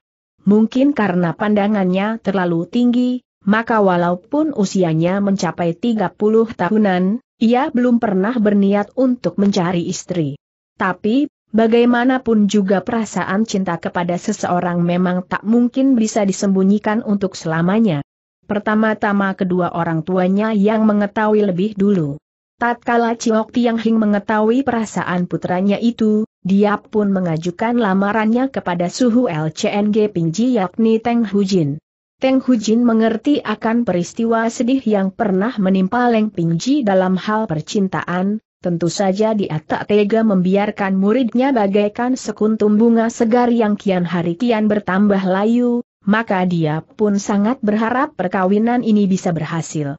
Bagaimanapun dia memberi penjelasan serta bujukan, Leng Pingji tetap menampik lamaran yang diajukan Chok Ching Swan. Dia bilang hatinya sudah keras seperti batu, dia pun sudah berubah seperti sungai es yang membeku, soal perkawinan sudah tiada berjodoh lagi dengan dirinya. Berhubung sikapnya yang begitu keras dan tegas, kecuali menghela napas panjang Teng Hujan tak bisa berbuat apa-apa lagi. Sedang gadis itu sendiri, untuk menghindari segala kesulitan, dia pun turun gunung lebih awal. Benarkah hatinya sudah sekeras batu? Betulkah perasaannya sudah sedingin sungai es yang membeku? Mungkin dia menganggap demikian, padahal ia sedang menipu diri sendiri. Sekarang dia pergi mengunjungi Lomana, di satu pihak dia bergembira untuk kebahagiaan sahabat karibnya, di pihak lain dia pun merasa sedikit kasihan untuk diri sendiri. Entah bagaimana, bayangan Kisi Kiat mendadak melintas kembali di dalam benaknya. Dulu, sering kali dia baru teringat kepadanya, bila teringat akan Beng Hoa serta Toan Kiam CCNG. Tapi kali ini berbeda, dia hanya teringat kepadanya seorang. Seakan-akan menemukan rahasia hatinya secara tiba-tiba, tanpa terasa merah padam pipinya karena jengah. Tanpa terasa pula dia berpaling dan memperhatikan keindahan alam di permukaan telaga, mungkin sungai es di Tiansan ketika itu belum mencair, tapi permukaan es di sini sudah mulai mencair. Wajah Leng Pingji makin memerah, pikirnya, seandainya dia mau menuruti nasihatku, tak nanti dia akan datang lagi ke Singkiang, buat apa aku mesti memikirkannya? Lebih baik cepat-cepat pergi menjumpai Enci Lomana. Sejak menikah dengan Santala, Lomana tinggal di rumah ayahnya. Rumahnya adalah satu-satunya bangunan berkebudayaan bangsa Han yang ada dalam desa tersebut, bangunan beratap dengan dinding merah, dibangun menempel bukit menghadap ke telaga, meski bangunannya tidak terlalu besar tapi arsitekturnya sangat indah. Di sekitar sana pun hanya ada dia satu keluarga saja. Leng Pingji ingin memberi kejutan yang menggembirakan bagi suami istri itu, maka dia tidak melewati jalan besar, melainkan naik bukit lebih dulu kemudian baru turun dari atas dan datang ke depan pintu rumahnya. Waktu itu sudah mendekati senja, asap dapur di rumah lain sudah membubung ke udara, tapi di rumah Lomana tak tampak asap dari dapur. tampaknya mereka sedang bersantap malam demikian Leng Pingji berpikir. Maka dia pun lantas mengetuk pintu. Saat makan malam merupakan saat yang tepat mencari orang. Sambil menunggu Lomana muncul membukakan pintu, Leng Pingji kembali berpikir, sudah pasti dia tak akan menyangka kalau aku datang mencarinya. Tapi pada tujuh tahun berselang, ketika aku meninggalkan tempat ini aku pun tidak mengira kalau masih bisa datang lagi kemari. Sebagaimana diketahui, walaupun pemandangan alam di sini sangat indah, namun justru tempat ini merupakan tempat penuh kedukaan, waktu itu dia lebih suka meninggalkan tempat ini jauh-jauh daripada berdiam di situ. Ia teringat kembali ketika bersama Lomana bersama-sama kabur ke Tiansan. Waktu itu nasib yang mereka alami hampir sama tapi sekarang nasib mereka berdua justru besar sekali perbedaannya, tanpa terasa timbul kembali rasa sedih di dalam hatinya. Walaupun demikian, kegembiraannya karena akan bertemu kembali dengan teman lama masih cukup untuk mengatasi kepedihan di dalam hatinya. Ia sedang menantikan suara teguran Lomana siapa di situ, menantikan gelak tertawa merdu Lomana sewaktu mengetahui siapa yang telah datang berkunjung. Siapa tahu, meski ia sudah tiga kali mengetuk pintu, suasana dalam rumah masih tetap hening dan tak terdengar sedikit suara pun. Sebenarnya dia hendak menunggu sampai Lomana yang membukakan pintu, tapi sekarang habis sudah kesabarannya, Terpaksa dia memperkenalkan diri, Enci Lomana, aku adalah Pingji, dengarkah kau suaraku? Suasana tetap hening, tiada jawaban dari dalam rumah. Ketika dia ulangi kembali seman itu dengan ilmu menyampaikan suara, belum juga ada jawaban dari sana, padahal dengan kepandaiannya, mustahil mereka tidak mendengar suara teriakannya. Jangan-jangan mereka sedang keluar rumah? tapi waktu itu setiap keluarga sedang bersantap malam, tak mungkin mereka akan pergi berkunjung ke tetangga dalam saat-saat seperti ini. Sebab waktu seperti ini hanya cocok bagi tamu atau sahabat yang datang dari tempat jauh. Rasa terkejut dan curiga berkecamuk dalam hati Leng Pingji, dia lantas berpikir, dengan hubunganku yang akrab, Sekalipun aku masuk dengan melompati dinding pekarangan rasanya mereka tak akan menyalahkan diriku. Untuk memecahkan kecurigaan dalam hatinya, dia bertekad akan masuk ke dalam dan memeriksa sendiri. Siapa sangka, baru saja tubuhnya melejit ke udara dan bersiap-siap melompati dinding pekarangan, mendadak terdengar desingan angin tajam menyambar tiba, hujan panah. Berantai tahu-tahu sudah mengancam di depan mata. Leng Pingji segera menutulkan ujung kakinya ke atas dinding dan sekali lagi tubuhnya melambung ke udara dengan gerakan Ia Ucuhuan Sin, burung belibis membalik badan. Panah yang pertama nyaris menghajar tubuhnya, disertai desingan angin tajam menyambar lewat persis di bawah mata kakinya. Tampaknya pembidik tersembunyi itu sudah menduga sampai ke situ. Ketika anak panah ketiga dibidikan beruntun, Sasarannya jauh lebih ke atas dan tepat mengarah jalan darah Taiwi Hiat di belakang tengkuk serta Hang Hu Hiat di punggung. Santala, aku yang datang Leng Ping Ji segera berteriak keras. Di tengah teriakan tadi, kembali tubuhnya berjumpalitan dengan gerakan burung belibis membalikan badan, dalam ayunan tangannya panah kedua kembali tertangkap, lalu dengan anak panah tersebut dia memukul rontok anak panah yang ketiga. Ketika menyambut anak panah yang kedua tergerak hati gadis itu, segera pikirnya, mungkin dia bukan Santala? Menanti bidikan yang ketiga berhasil dipukul rontok, dia telah merasa yakin kalau orang itu bukan Santala. Betul ilmu memanah yang dimiliki orang ini cukup hebat, bahkan boleh dibilang tidak berada di bawah Santala, akan tetapi tenaga yang disertakan dalam bidikan tersebut masih jauh dari sempurna. Dalam seratus langkah, bidikan Santala sanggup menembusi kulit perut badak yang tebal dan keras, tapi sekarang, ketika Leng Pingji memukul rontok bidikan panah tersebut, telapak tangannya sama sekali tidak merasa kesemutan atau sakit. Begitulah, dengan suatu gerakan si Xiong Chiao Hawan Im, berjumpalitan indah di awan, dengan ringan dan indahnya Leng Pingji melayang turun ke atas tanah. Sewaktu berpaling, dia menyaksikan seorang gadis sedang berlarian menghampirinya. Di belakang gadis itu mengikuti seorang pemuda beralis mata, tebal dan bermata besar, di tangannya membawa gendoa. Ia tidak lari mendekat melainkan hanya berdiri termangu sambil menatap ke arah lawannya dengan pandangan bingung dan tertegun. Sikapnya itu seakan-akan menunjukkan bahwa semula dia mengira lawannya adalah orang lain, tak disangka ternyata cuma seorang gadis yang begitu cantik. Dia pun tidak percaya, gadis secantik ini sanggup memukul rontok bidikan panas saktinya.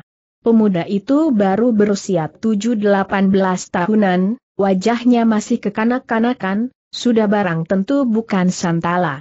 Gadis itu sudah tiba di hadapan Leng Pingji, setelah melihat jelas wajahnya, mendadak dia berseru tertahan, Hei, kau, bukankah kau adalah Leng Lihiap?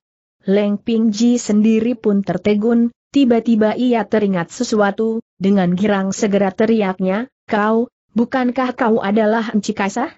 Tak terlukiskan rasa gembira gadis itu, sahutnya dengan wajah berseri, betul, Encileng, terima kasih banyak, ternyata kau masih ingat denganku. Hei setan berandal, ayo cepat. Kemari dan minta maaf kepada Leng Lihiap. Aha, Encileng kau telah datang, Sungguh baik sekali, sungguh kebetulan sekali. Kaisah adalah teman akrab Lomana, sudah lama Leng Pingji kenal dengan mereka. Tapi dengan pemuda yang dipanggil setan berandal oleh Kaisah, dia sama sekali tak kenal. Dengan wajah merah pada melantaran jengah, pemuda itu segera datang mendekat, katanya, aku bernama Kaisi, Leng Liap, aku tahu kau adalah sahabat karib suhuku, tapi aku tidak, tidak menyangka kau akan datang kemari. Leng Pingji agak tertegun, kemudian tanyanya sambil tertawa, siapakah gurumu? Dia adalah adikku, Kaisah menerangkan, sudah tiga tahun belajar ilmu memanah dari Santala, dalam anggapannya kepandaian yang dia miliki sudah hebat sekali. Ehm, sekarang sudah tahu bukan, sesungguhnya ilmu memanahmu masih kelewat rendah. Merah padam wajah Kaisi sesudah mendengar ucapan itu buru-buru bentaknya, kapan sih aku bilang kalau ilmu memanahku bisa nandingi kemampuan suhu dari nada pembicaraannya itu dapat diduga, kalau di hari-hari biasa, kecuali kagum kepada gurunya, boleh dibilang dia selalu menganggap kepandaiannya paling top.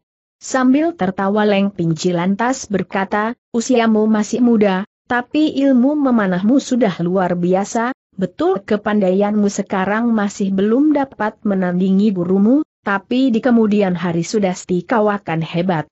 Kenapa kau memujinya isah, tanpa menanyakan merah atau hijau, dengan gegabah sekali ia telah membidikmu dengan anak panah berantai.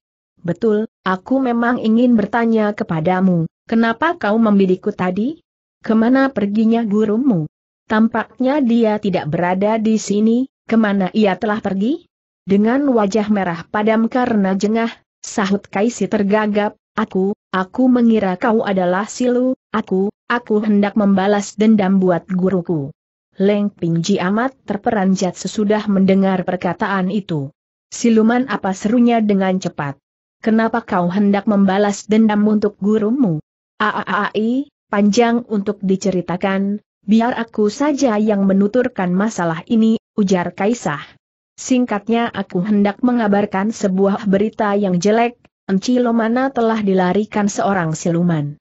Tak terlukiskan rasa kaget Leng Pingji setelah mendengar perkataan itu, setelah tertegun beberapa saat lamanya, dia bertanya, di mana Santala sekarang? Dia terluka parah. Peristiwa ini terjadi tiga hari berselang, tapi sampai kini belum juga sadar. Di mana ia sekarang? Di rumahku. Seorang anaknya telah kami kirim menuju ke Lor Angki, agar bisa dilindungi oleh GW Akongnya. Untung saja putranya tidak menderita luka apa-apa. Tapi dia sendiri parah lukanya, kami tak berani membawanya melakukan perjalanan jauh, sebab itu terpaksa membawanya ke rumah kami agar merawat lukanya di sana. Pada mulanya Leng Pingji mengira Santala sudah mengalami musibah, sekarang hatinya baru rada lega, Kembali dia bertanya, siapakah siluman itu? Entahlah. Hari itu malam sudah larut, Ketika kami mendengar bentakan Santala yang menggeledek, segera menyusul kemari, tapi dia sudah terkapar di tanah dan tak mampu berbicara lagi. Anaknya juga ketakutan setengah mati, setelah bertemu kami, dia hanya menangis sambil berteriak-teriak, Mama dilarikan siluman, Mama dilarikan siluman bisa diduga, bocah itu pasti ketakutan setengah mati sehingga tak berani melihat wajah siluman itu, apalagi peristiwa tersebut terjadi di tengah malam buta. Aku khawatir siluman itu tahu kalau suhu belum mati dan datang untuk mencelakainya lagi, maka ku undang orang untuk melindungi suhu. Selama dua malam beruntun aku selalu membawa gendawa sambil menanti kedatangan siluman itu di sini, sambung Kaisah melanjutkan. Ternyata rumah mereka merupakan tetangga yang terdekat dari rumah Santala. Tak disangka yang datang bukan siluman, melainkan kau, ujar Kaisah pula. Encileng, kebetulan sekali kedatanganmu. Dengan kepandaian yang kau miliki, sudah pasti Santala dapat diselamatkan, siluman itu pun sudah pasti dapat kau hadapi pula. Dalam pembicaraan yang berlangsung, tanpa terasa sampailah mereka di rumah Kaisah. Dalam rumah penuh manusia, tapi suasana hening sekali sampai jarum yang terjatuh ke lantai pun kedengaran. Mereka semua adalah pahlawan-pahlawan dari suku Wana yang secara bergilir melakukan penjagaan di sana. Ada di antara mereka yang kenal dengan Leng Pingji, segera menunjukkan rasa kaget bercampur girang sewaktu menyaksikan dia muncul bersama kaisah kakak beradik. Masing-masing lantas menganggukkan kepala sebagai tanda hormat.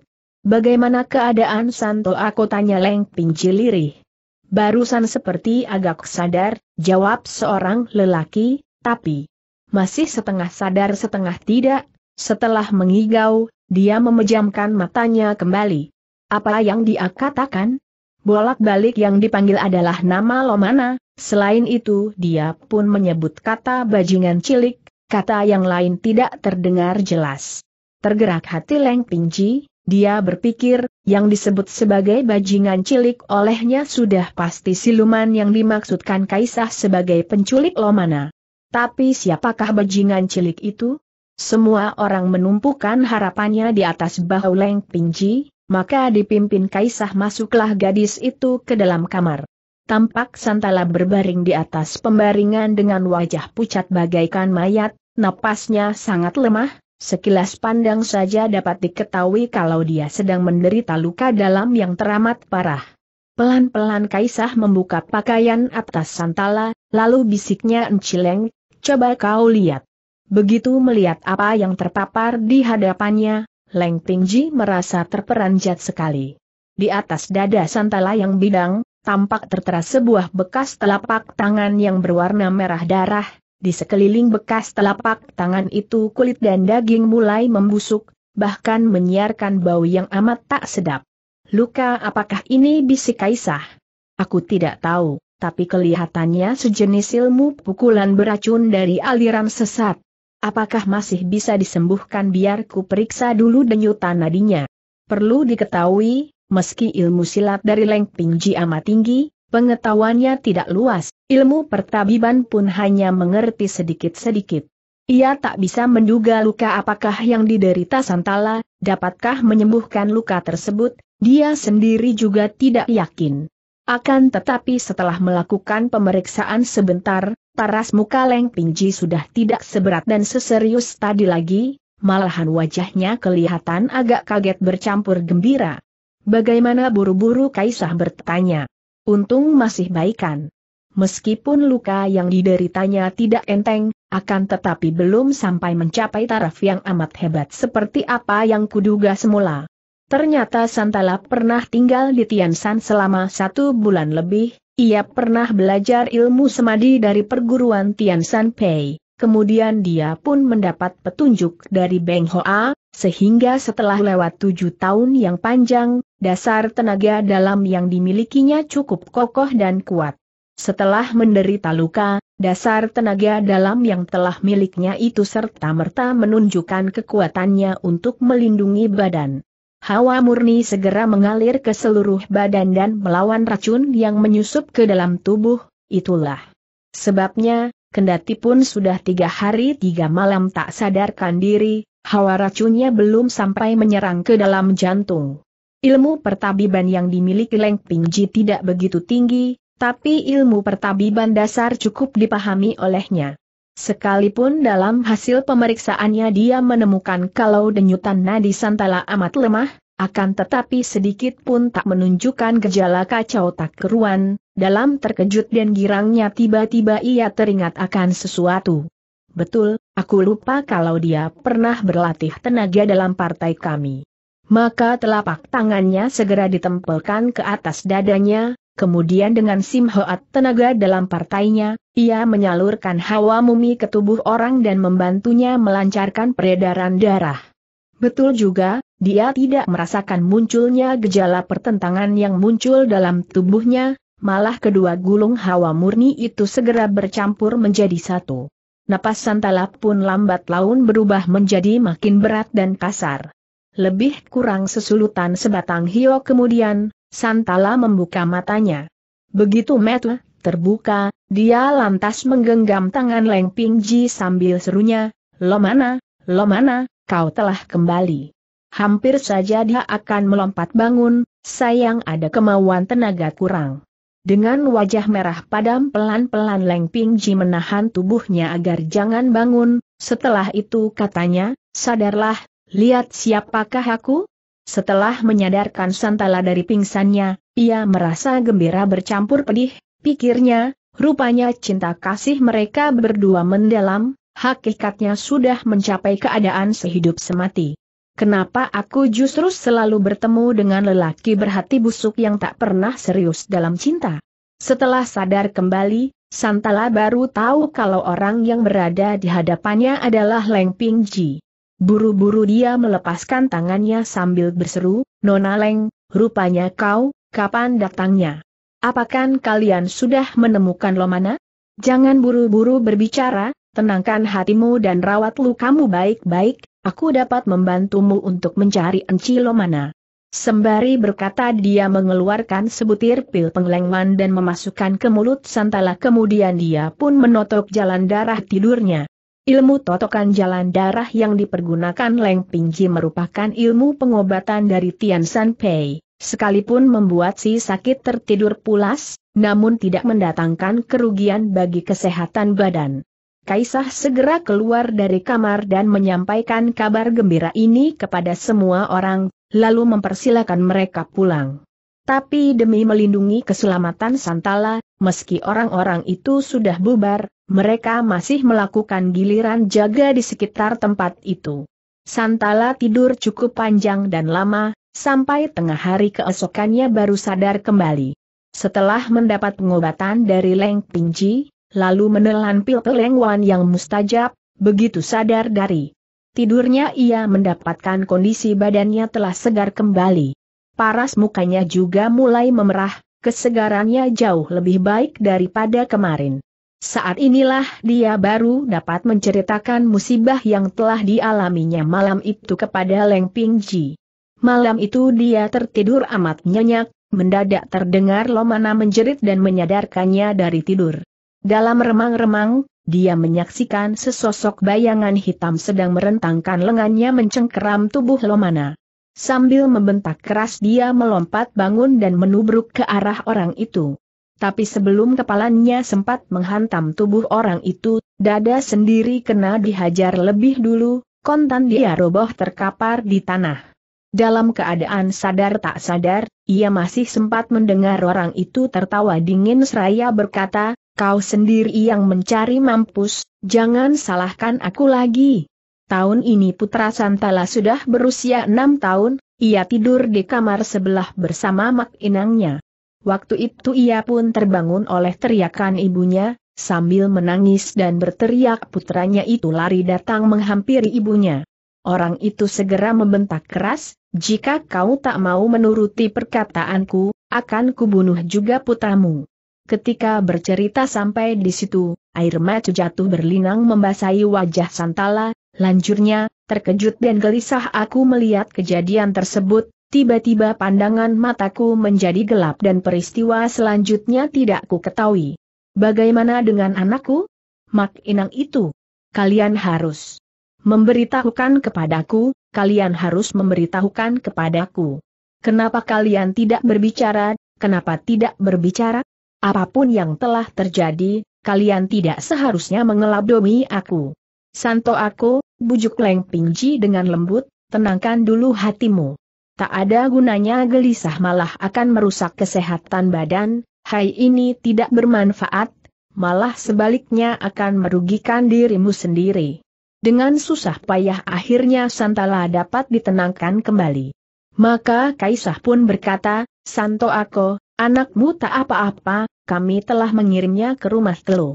Cuma mak inangnya telah tertimpa musibah dan tak bisa tertolong lagi jiwanya. Sungguh keji siluman itu sumpah Santala sambil mengertak gigi. Padahal mak inang tak pandai bersilat, tapi dia telah membunuhnya juga. Bagaimana dengan Lomana? Dia, dia bagaimana? Kau berjanji tidak akan terlampau emosi, kemudian baru akan kuberitahukan kepadamu. Santala menghela napas panjang. Aaai, padahal sekalipun tidak kau katakan, aku juga tahu. Dia sudah diculik oleh siluman itu bukan? Kaisah tak tega untuk menjawab, maka dia hanya mengangguk dengan mulut membungkam. Santo Ako, jangan khawatir, kata Leng Pingji, setelah kujumpai kasus seperti ini, bagaimanapun juga, meski mempertaruhkan selembar jiwa, aku tetap akan mencari Enci Lomana sampai dapat. Cuma, sekarang kau mesti tenangkan dulu hatimu, pikirlah dengan seksama dan jawab pertanyaanku. Apa yang ingin kau tanyakan? Untuk menolong Enci Lomana, aku harus mengetahui dulu siapakah siluman yang telah melarikan dirinya itu? Dalam kegelapan sulit bagiku untuk mengetahui wajahnya. Lantas bagaimana dengan suaranya? Kau toh pernah mendengar suaranya. Tentunya bisa kau ingat bukan, suara itu mirip siapa? Santala berpikir sejenak, dan secara tiba-tiba ia menatap wajah Leng Pingji lekat-lekat seakan ingin mengucapkan sesuatu namun merasa tak leluasa. Katakan saja secara berterus terang bujuk Leng Pingji kau tak usah merasa ragu atau kurang leluasa. Padahal gadis itu sudah menduga beberapa bagian siapa yang dimaksudkan. Agaknya seperti bajingan cilik itu jawab Santala kemudian. Paras muka Leng Pingji kontan saja berubah menjadi pucat pias seperti mayat, tegasnya, apakah Toan Kiam Cheng si bangsat muda itu? Benar, memang suaranya. Suaranya itu tak akan kulupakan untuk selamanya. Ternyata sesaat sebelum jatuh tak sadarkan diri, dia sudah tahu siapakah siluman itu, karenanya dalam igawannya pun dia sempat mengucapkan kata bajingan cilik. Santala berkata lebih lanjut, pada malam pengantinku tempo hari, bajingan cilik itu pun pernah datang untuk merampas pengantin perempuan. Untung saja pada saat itu. Hadir Beng Toako dan Nona Kim, sehingga bajingan itu bukan saja tidak berhasil dengan usahanya, malahan terperangkap jebakan kami dan menderita kerugian besar. Sungguh tak disangka ia belum juga insyaf, tujuh tahun kemudian ia masih datang lagi kemari. Kali ini ia berhasil merampasnya. Pada malam tujuh tahun berselang, aku pun mendengar suara tertawanya yang busuk dan licik, aku yakin apa yang didengar tak berakal salah, sudah pasti dia, sudah pasti dia. Sayang Beng aku tidak berada di sini. Makin berbicara dia semakin emosi, sehingga akhirnya saking geramnya dia sampai mengertak gigi. Tempo hari, Kim Biki yang menemani pengantin wanita di dalam kamar dan memancing Toan Kiam Cheng masuk perangkap, kemudian menusuknya sampai terluka. Leng Pingji sama sekali tak hadir di situ, cuma dia pun mendengar kisah ini dari Beng Hoa, maka dia pun tak perlu menanyakan masalah ini lebih seksama lagi kepada Santala. Setelah menghela napas panjang, katanya, padahal sekalipun tidak kau katakan aku juga telah menduga ke situ, sudah pasti bajingan itulah yang melakukannya. Santo aku, mungkin kau tidak tahu, aku sendiri pun kena dicelakai bajingan itu hingga nyaris tewas, rasa dendam dan benciku padanya sedikit pun tidak berada di bawah rasa bencimu padanya. Betul, sekalipun Beng aku tidak berada di sini, tapi rejeki kita pun tidak terhitung jelek, kebetulan Leng Lihiap sampai di sini. Dia pasti dapat membantumu untuk menemukan kembali Enci Lomana, ucap Kaisah. Enci Leng, aku tahu kau pasti akan membantuku. Cuma aku sangat khawatir, bagaimana mungkin kau dapat menemukan mereka? Mendadak Leng Pingji teringat akan satu hal, dia lantas bertanya, sesudah termakan oleh serangan bangsat itu, apakah kau merasa sedikit panas dan perih bagaikan disengat tapi? Betul. Aku memang merasa luka itu panas sekali bagaikan terbakar. Baik, kau tak usah khawatir, aku akan pergi mencari bajingan itu untuk membuat perhitungan. Bila dugaanku tak salah, aku pasti dapat menemukannya. Sekarang, beristirahatlah dengan hati yang tenang. Dia khawatir luapan emosi dapat mempengaruhi kesehatan badan Santala, maka begitu selesai berkata dia lantas menotok jalan darah tidurnya agar ia tak banyak berbicara lagi. Pukulan beracun dari bajingan itu sangat lihai, dia pasti mengira Santo Ako mati, setelah menganggap rencananya berhasil, tentu saja dia tak akan datang kemari lagi, cuma kau harus bersiap sedia menghadapi segala kemungkinan, lebih baik lindungi suhumu dengan hati-hati, Demikian pesan Leng Pingji kepada Kaisi sesaat sebelum pergi. Jangan khawatir, kami sudah melakukan persiapan, yang takut bajingan itu tak berani datang lagi, sahut Kaisah. Kami sudah persiapkan puluhan lembar gendawa yang sekaligus dapat memedikan berpuluh-puluh batang anak panah beracun, jika ia berani datang, niscaya tak akan bisa lolos lagi dari sini. Baik, kalau begitu aku pun bisa pergi mencari Sunyomu dengan hati lega, kata Leng Pingji. Mencari orang di puncak salju. Keesokan malamnya, ketika rembulan sudah berada di awang-awang, Leng Pingji mendaki sebuah puncak salju yang amat uram. Puncak salju ini terletak kurang lebih 100 li dari tempat tinggal suku Wana, tetapi karena tebingnya curam dan lagi sepanjang tahun tertutup salju, sekalipun suku Wana pandai mendaki gunung, belum pernah mereka naik ke bukit tersebut tapi, Leng Pingji pernah berkunjung ke atas puncak bersalju ini. Di atas puncak salju inilah tertanam kenangan lamanya yang penuh dengan kegetiran. Tujuh tahun berselang, Toan Kiam Cheng pernah mengangkat seorang siluman berambut merah Aoyang Hang yang tinggal di puncak salju itu sebagai gurunya, dia berhasrat sekali untuk bisa mendapatkan dua macam mestika milik suku Wana, yang satu adalah kitab pusaka ilmu silat yang berasal dari Pesia kuno, tapi kemudian diperoleh Beng Hoa, sedang yang lain adalah tambang batu-batu kemala. Untuk mewujudkan harapannya ini maka langkah pertama yang dilakukan adalah menyuruh Toan Kiam Cheng mendapatkan cinta Lomana. Seandainya Lomana bisa dikawini, maka ada harapan buat Toan Kiam Cheng untuk menjadi klo, kepala suku, dari suku Wana, waktu itu bukan saja kedua macam mestika itu bisa didapatkan bahkan Toan Kiam Cheng bisa mengangkat dirinya menjadi raja di sana. Setelah nyaris terbunuh, Leng Pingji baru tahu kalau Toan Kiam Cheng telah mengangkat siluman rambut merah Aoyang Tiong sebagai gurunya, kemudian dalam pengintaiannya dia baru mengetahui akan rencana busuk dari kedua orang itu. Suatu kali, ketika secara diam-diam Leng Pingji menyusup ke puncak salju, jejaknya diketahui Aoyang Tiong dan nyaris terbunuh di tangannya, Untung Beng Hoa yang sedang mengejar Toan Kiam Cheng sampai juga di atas puncak salju itu, atas bantuan Beng Hoa, selembar jiwanya berhasil lolos dari maut. Pada peristiwa itu juga, dia semakin jelas mengetahui betapa keji dan busuknya manusia yang bernama Toan Kiam Cheng. Tapi justru karena adanya peristiwa ini maka timbul suatu ingatan terang di dalam benaknya, dia lantas menduga, besar kemungkinan Toan Kiam Cheng bersembunyi di atas puncak salju tersebut sebagai dasar dari kesimpulannya itu, Lomana tak akan tunduk pada kemauan Toan Kiam Cheng, ia menduga Toan Kiam Cheng juga tak berani melarikan Lomana ke tempat yang amat jauh, sudah pasti perempuan itu akan disembunyikan dulu di sekitar tempat ini, kemudian menggunakan cara menakut-nakuti dan mengancam, dia memaksa perempuan itu menuruti kemauannya. Sudah barang tentu tempat persembunyian yang paling cocok untuk melaksanakan rencananya ini adalah puncak salju yang jaraknya hanya 100 li dari rumah Lomana.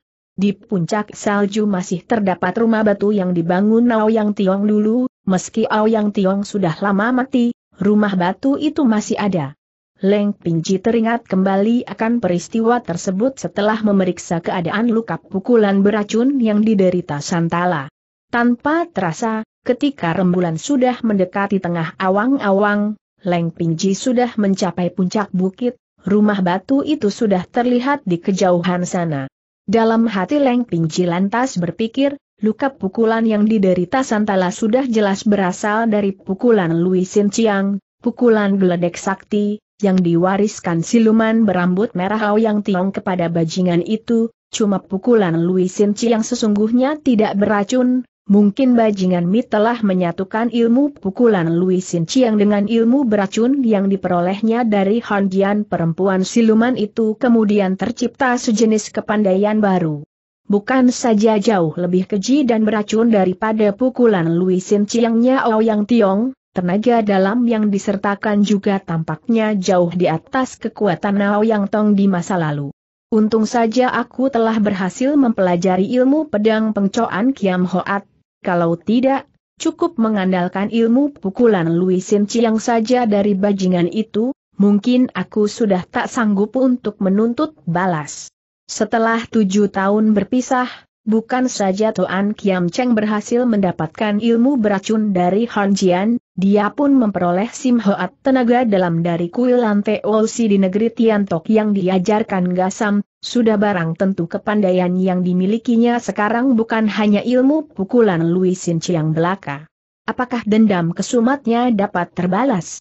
Sekalipun Leng Pingji yakin kalau dia masih sanggup untuk menghadapi Louis Sin Chiang, namun dia tak yakin bisa mengalahkan musuhnya. Kini rumah batu itu sudah berada di depan mata, kobaran api dendam yang membara dalam dadanya tak terkendalikan lagi, Sambil mengertak gigi Leng Pingji berpikir di dalam hati, sekalipun ilmu silat yang dimiliki bajingan itu sudah jauh di atasku, kendati pun harus mengorbankan selembar nyawaku, aku tetap akan beradu jiwa dengannya. Dia takut kedatangannya diketahui Toan Kiam Cheng, maka dengan mengerahkan ilmu meringankan tubuh Tasoat Buliang, menginjak salju tanpa bekas, yang merupakan ilmu ginkang tingkat tinggi, Diam-diam ia mendekati rumah batu itu. Pintu kayu rumah batu itu sudah ditendang jebol oleh Beng Hoa pada tujuh tahun berselang, karena tak pernah dibetulkan kini sudah semakin parah.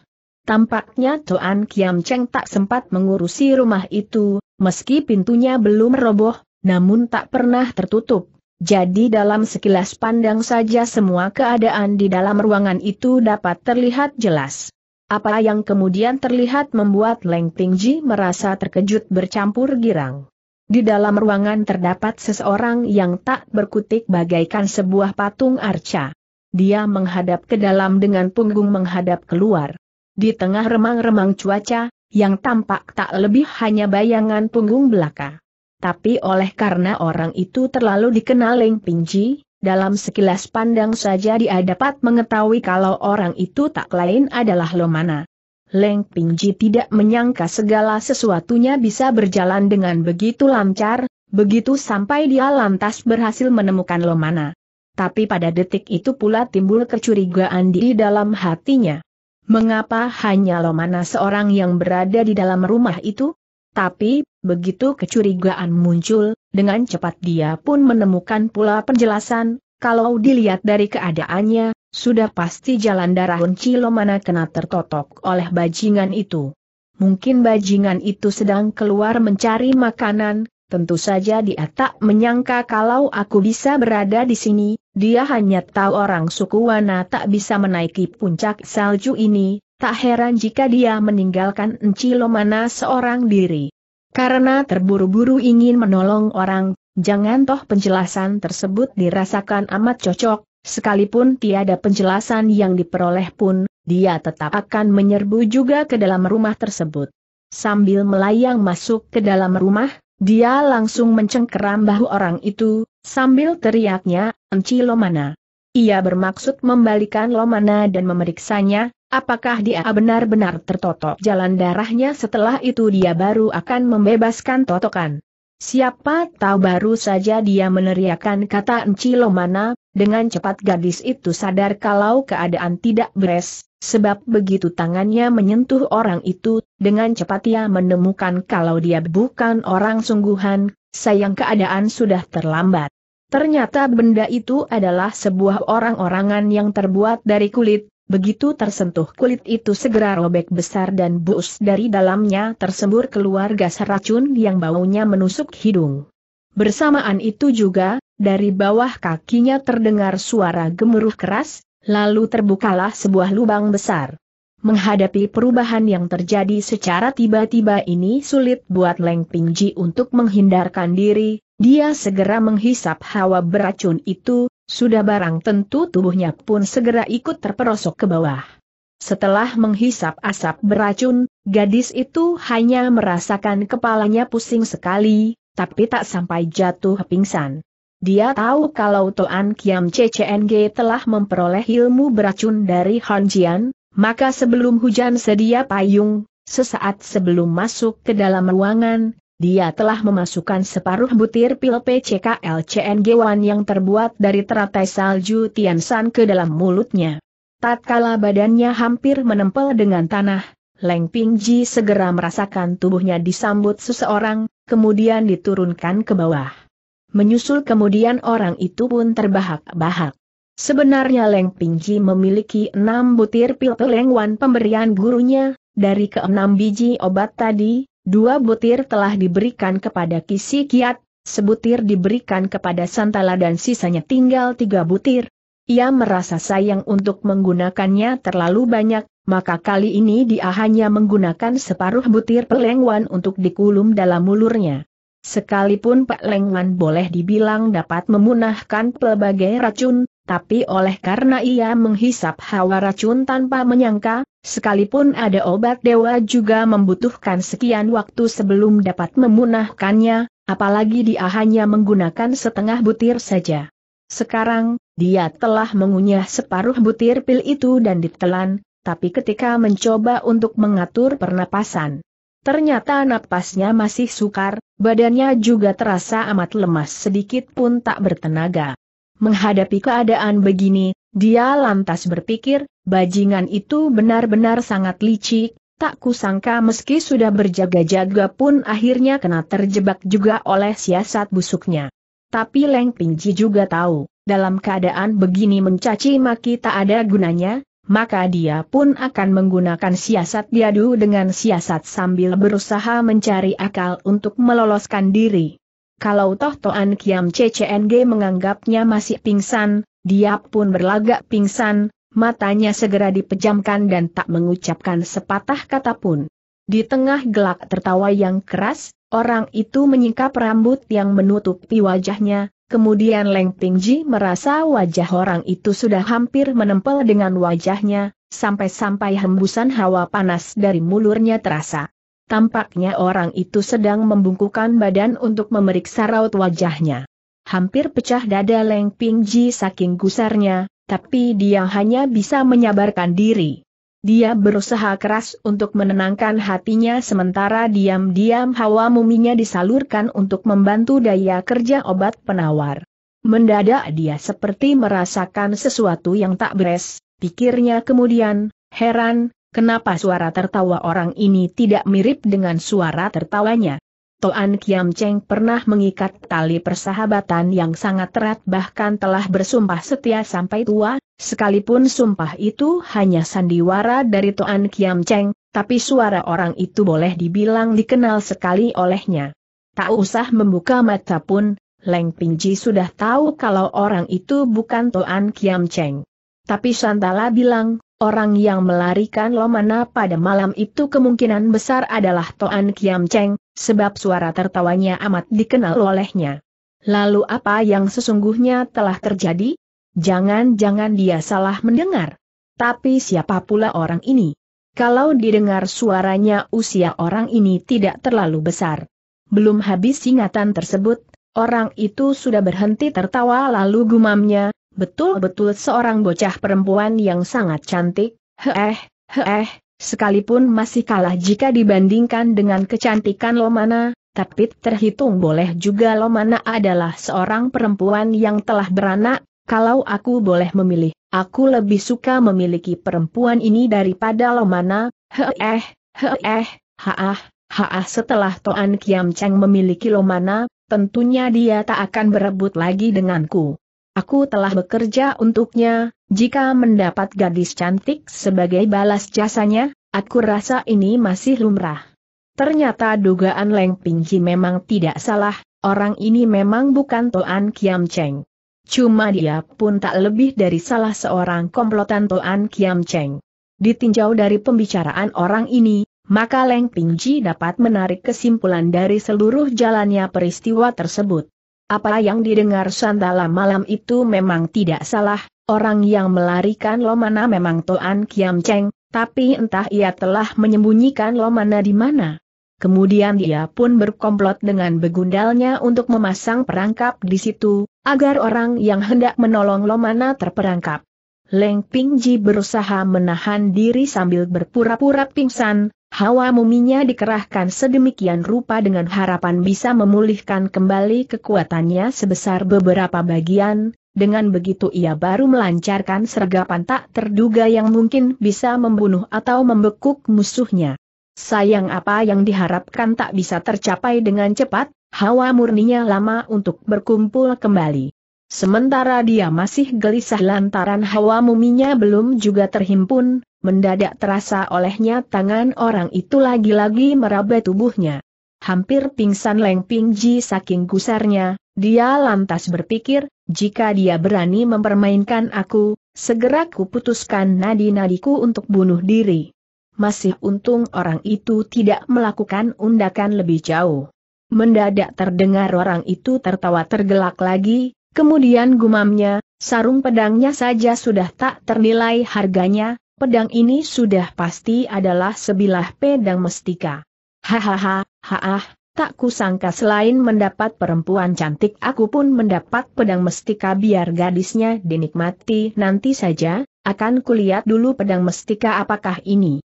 Rupanya dia bermaksud untuk melepaskan pedang pengpok Hong Kong Kiam yang tersoren di pinggang Leng Ping Ji.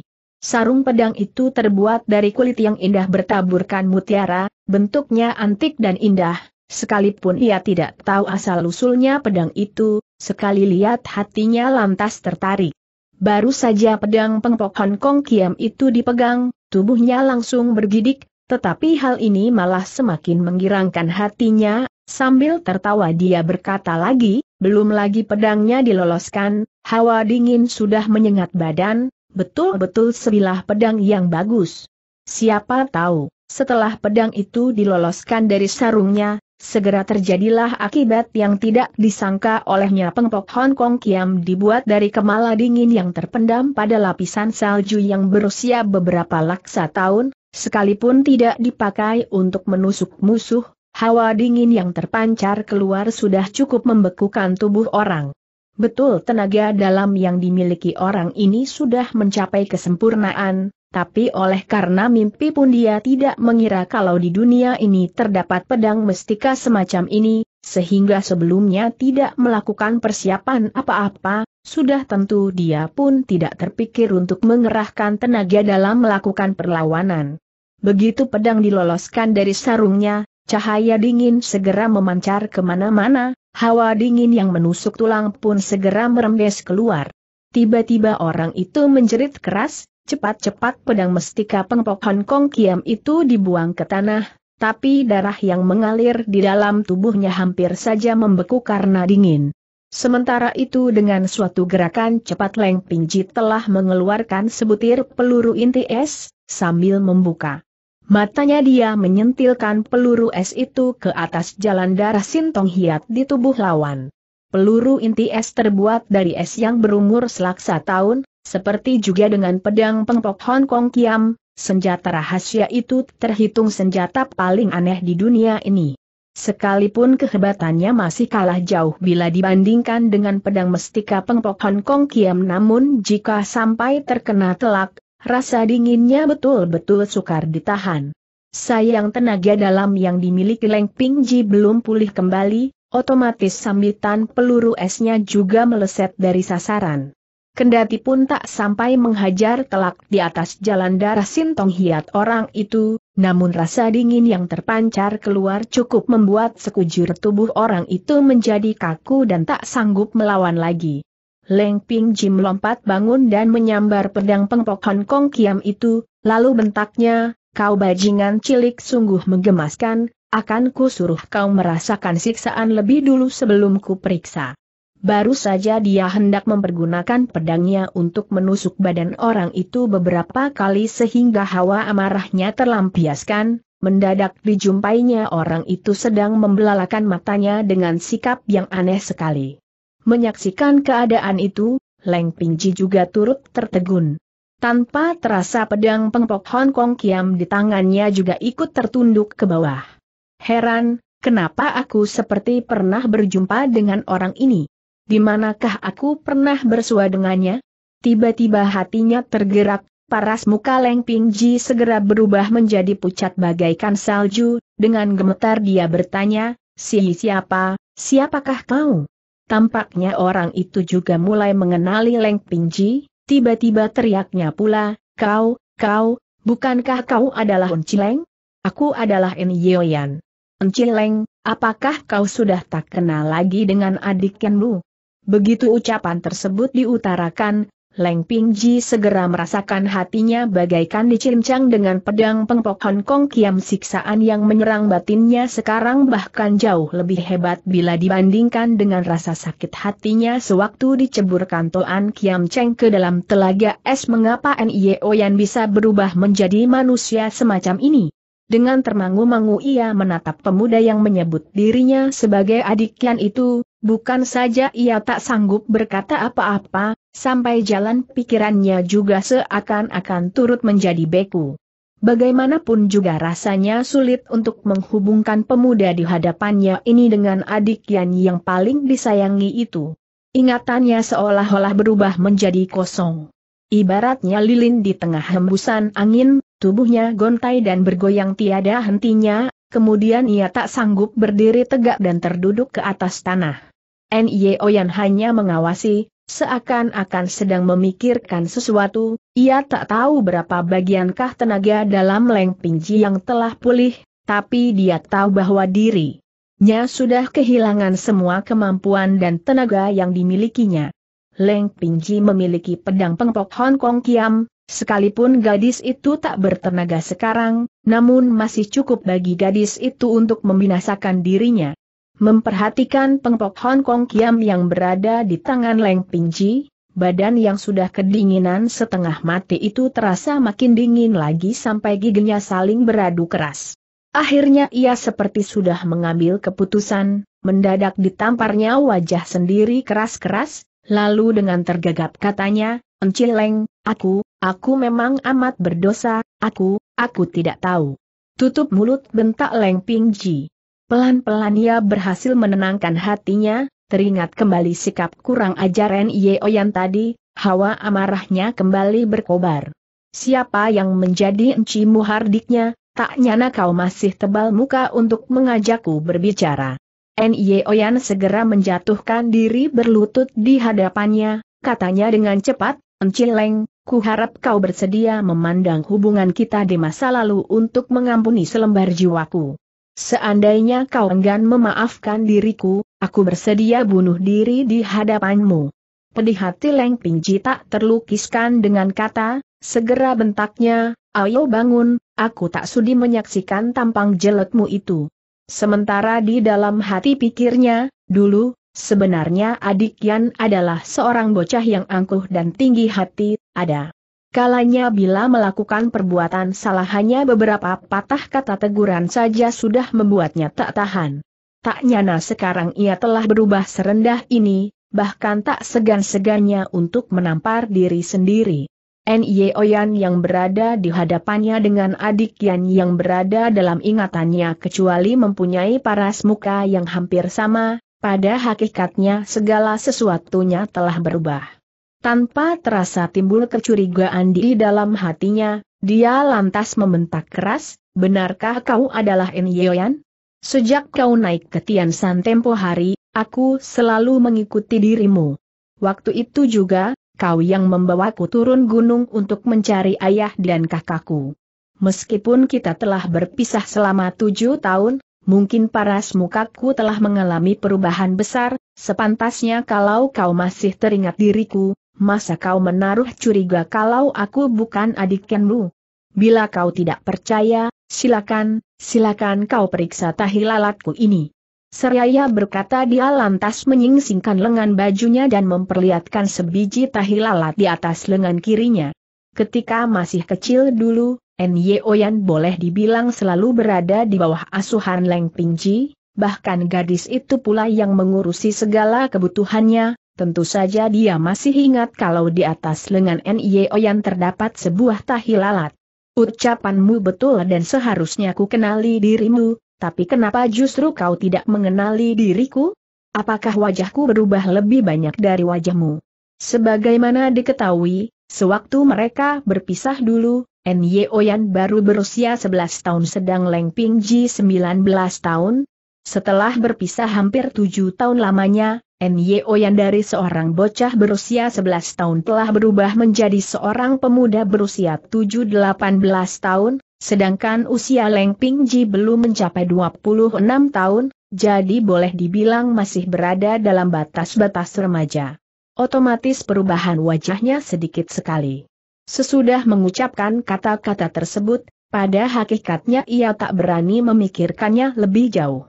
Tangannya lantas meraba gagang pedang inti esnya, sedangkan matanya mengawasi N.Y. Oyan dengan melotot, dalam hati dia bertanya kepada diri sendiri, andai kata ia sudah mengenalku sejak tadi tapi masih bersikap kurang ajar kepadaku lantas apa, apa yang harus kulakukan?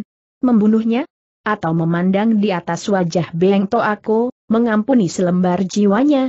Sementara itu N.Y. Oyan telah menjawab dengan wajah merah padam, aku, aku, mimpi pun aku tidak mengira kalau kau bisa datang kemari, sewaktu kau terjatuh tadi, wajahmu kena debu, aku memang merasa seperti kenal, tapi tak kuduga dirimu. Setelah mendengar suaramu, aku baru mengenalimu.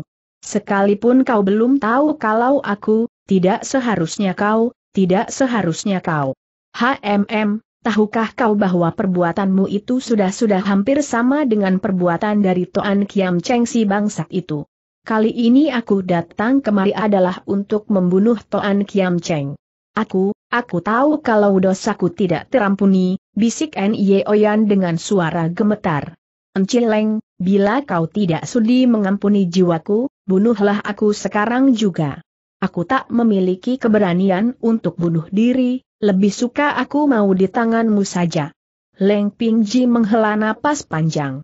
Aaai, kalau berbicara menurut peraturan, seharusnya aku mewakili Chiang Bunjin untuk menjatuhkan hukuman kepadamu, tetapi mengingat kau masih muda dan tak tahu urusan, untuk kali ini kau kuampuni. Aaai, Ny Oyan mengapa kau, kau bisa berubah menjadi begini rupa? Aku terpaksa harus begini, dia menyuruh aku berbuat apa, aku pun terpaksa berbuat apa. Bila aku tidak menuruti perkataannya, dia pun akan menyiksaku, membuat aku mati tak bisa hidup pun tak dapat. Yang kau maksudkan sebagai dia apakah Toan Kiam Cheng?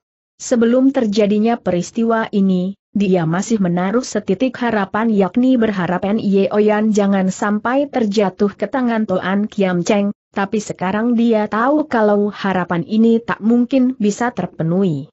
Betul juga, N.Y. Oyan segera menjawab, kalau bukan dia siapa lagi?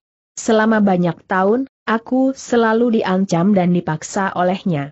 Leng Pingji segera mendengus, katanya dengan dingin, begitu menurutkah kau dengan perkataannya? Aku ingin bertanya kepadamu, masih ingatkah kau ketika bertemu denganku untuk pertama kalinya? Masih ingat kau dan aku naik gunung bersama, selain itu. Aku telah termakan tipu muslihat Toan Kiam Cheng dan tidak percaya kalau Beng Hoa adalah kakakku.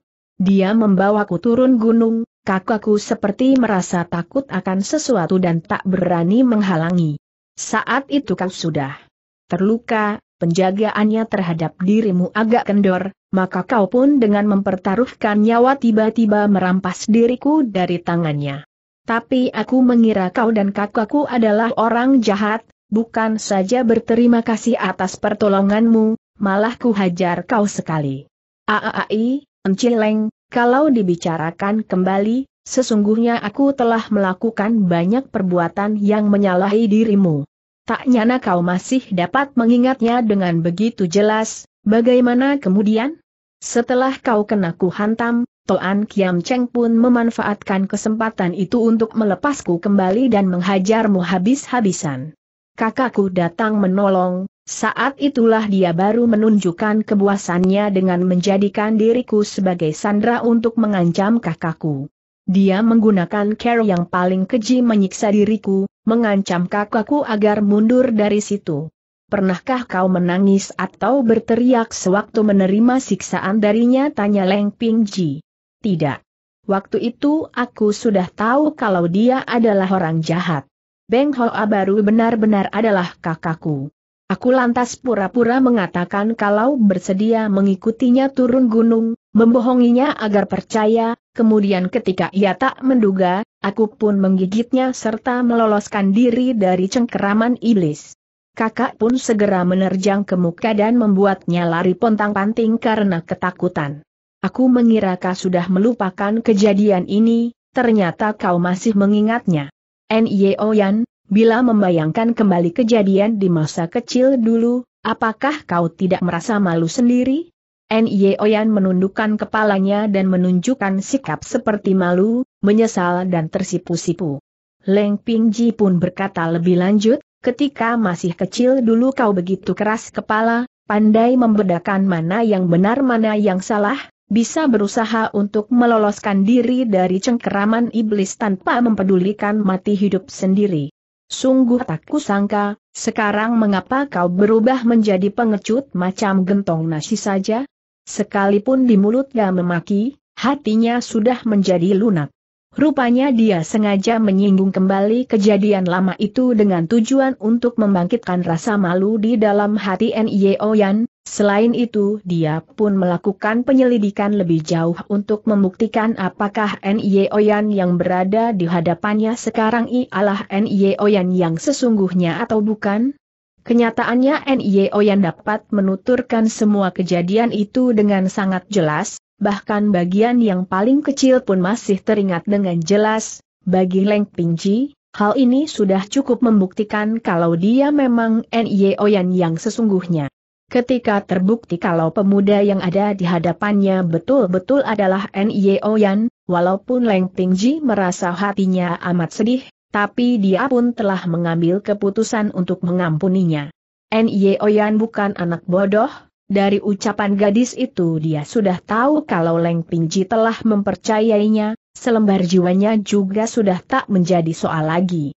Maka sambil menunjukkan sikap gugup dan menyesal, dia berkata, aku, aku sendiri pun tak tahu kenapa bisa berubah.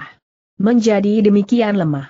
Apa boleh buat, aku benar-benar takut kepadanya aku pun pernah teringat untuk bunuh diri, tapi aku masih berharap bisa berjumpa lagi dengan ayah berjumpa dengan kakakku dan juga kau.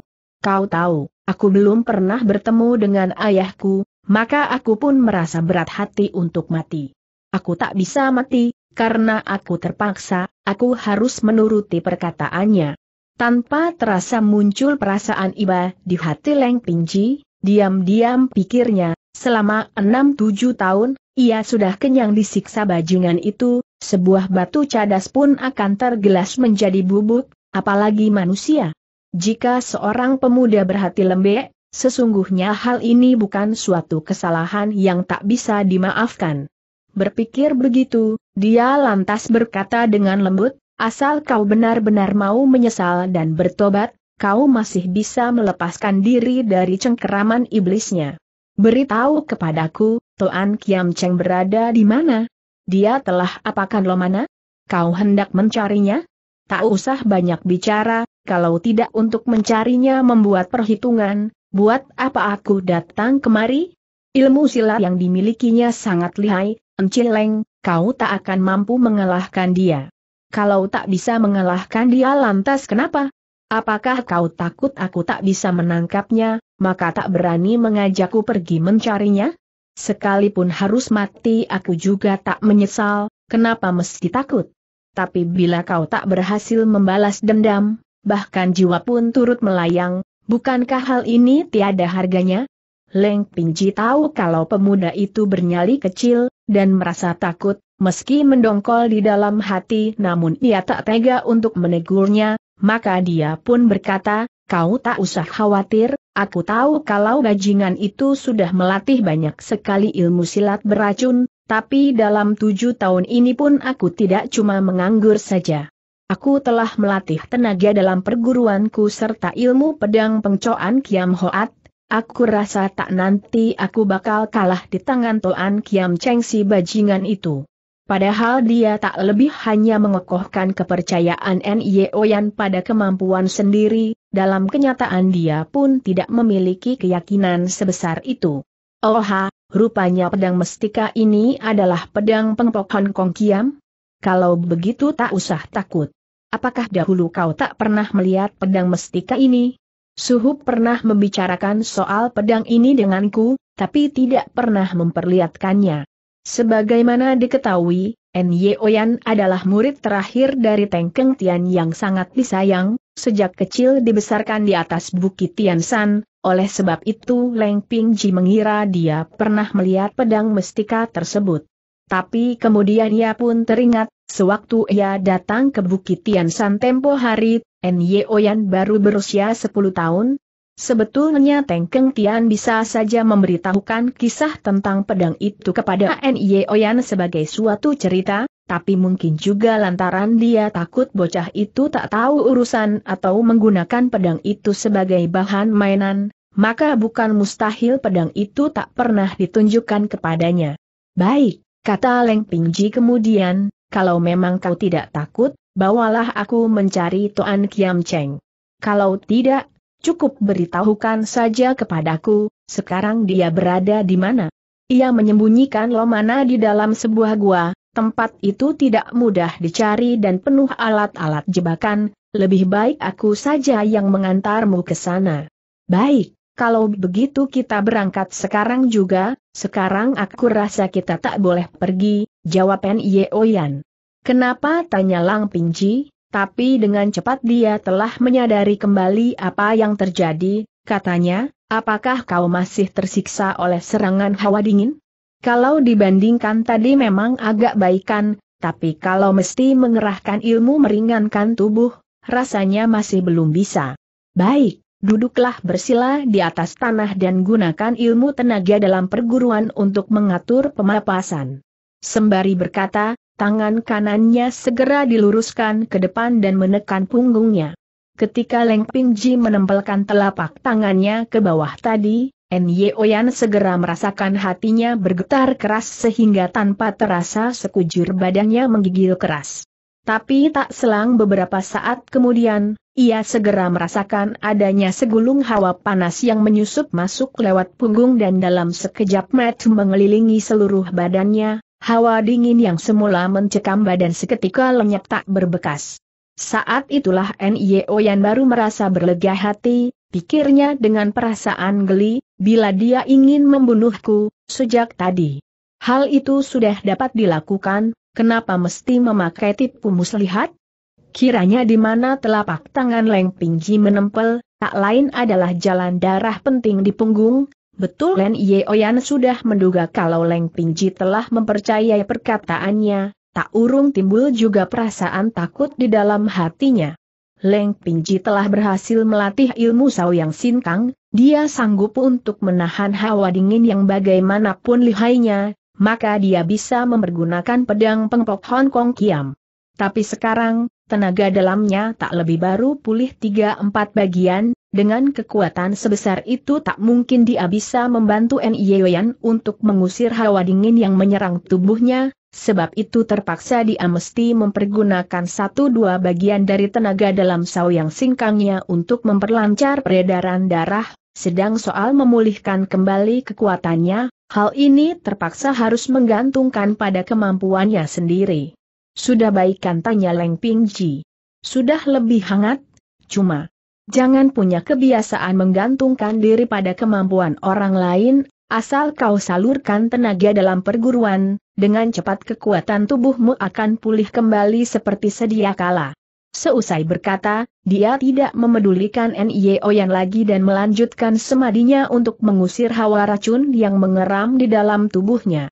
Kemujaraban Pilkak Lengwan telah mulai bekerja, ketika hawa murninya disalurkan keluar, daya kerja obat itu pun semakin menyebar, tak sampai sesulutan setengah batang hio, sisa racun ik mengeram di tubuhnya telah punah sama sekali, sedangkan tenaga dalamnya juga telah pulih kembali tujuh delapan bagian. Menurut perhitungannya, ketika sarang Toan Kiam Cheng berhasil ditemukan nanti, tenaga dalamnya sudah pasti telah pulih kembali seperti sedia kala. Menanti dia mendongakkan kembali kepalanya, tampak N.I. Oyan masih duduk bersemadi, asap putih mengepul dari atas kepalanya, tapi kadangkala tubuhnya masih menggigil.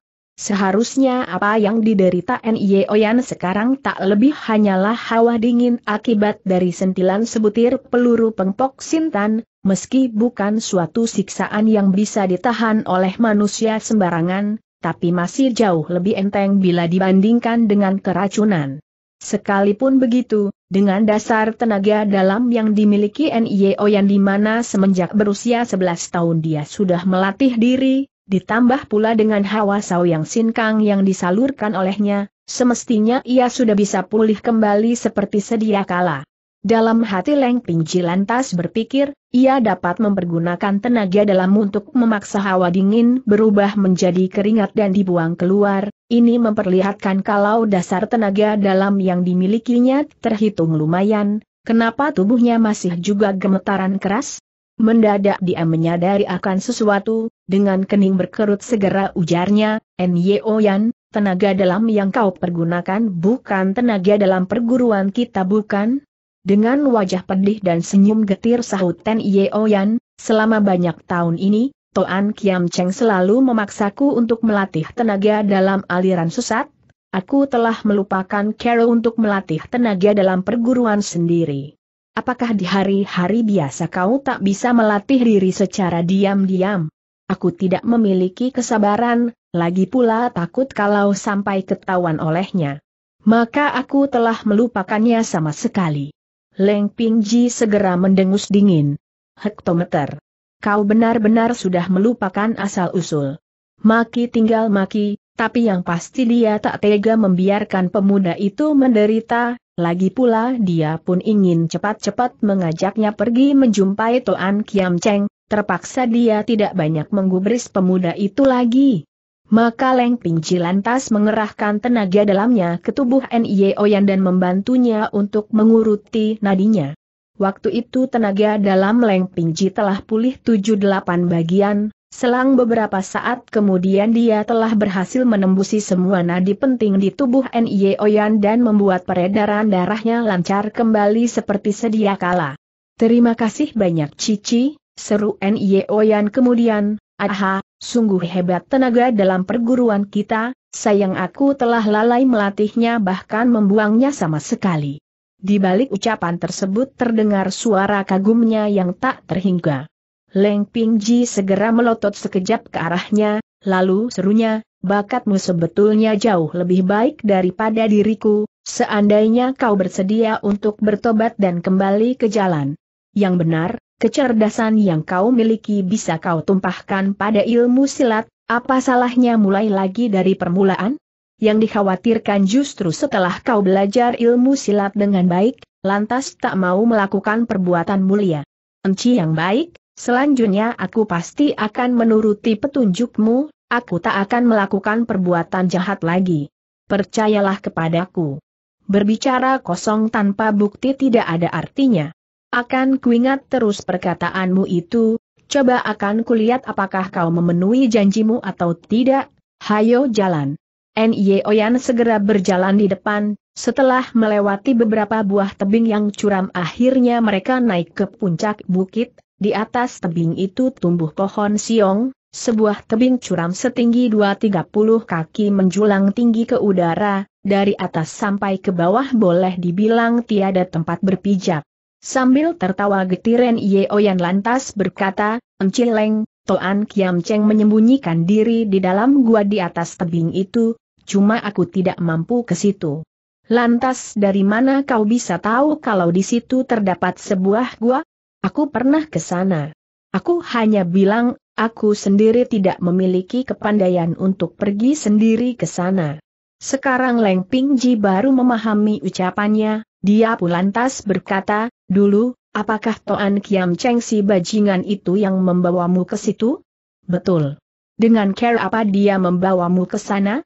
N. Yeoyan mengajaknya menelusuri sebuah tebing karang dan memblok pada sebuah tikungan, sahutnya, dia menggunakan care berayunan untuk melayang dari pohon yang ada di sini menuju ke sana. Kemudian setibanya di situ, dia baru mempergunakan tali untuk membawaku ke atas. Ternyata di atas permukaan di dinding tebing yang curam itu terdapat sebatang pohon siong berusia seribu tahun yang menjulang ke angkasa, akarnya mencengkeram ke dalam batu cadas dengan batang dan ranting tumbuh ke empat penjuru, malah ada beberapa yang menjorok sampai ke dinding tebing seberang. Baik, kata Leng Pingji kemudian, akan kubawa kau menyeberangi tebing tersebut dengan care itu pula. Cici, jangan kau anggap hal ini suatu permainan belaka, paling tidak kau harus mempunyai keyakinan lebih dahulu. Kau tak usah mengkhawatirkan keselamatanku, cepat kita bikin tali.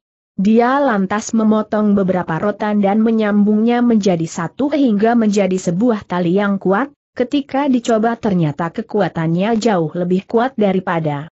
Baik, Aku akan segera ke sana, kata Leng Pingji kemudian.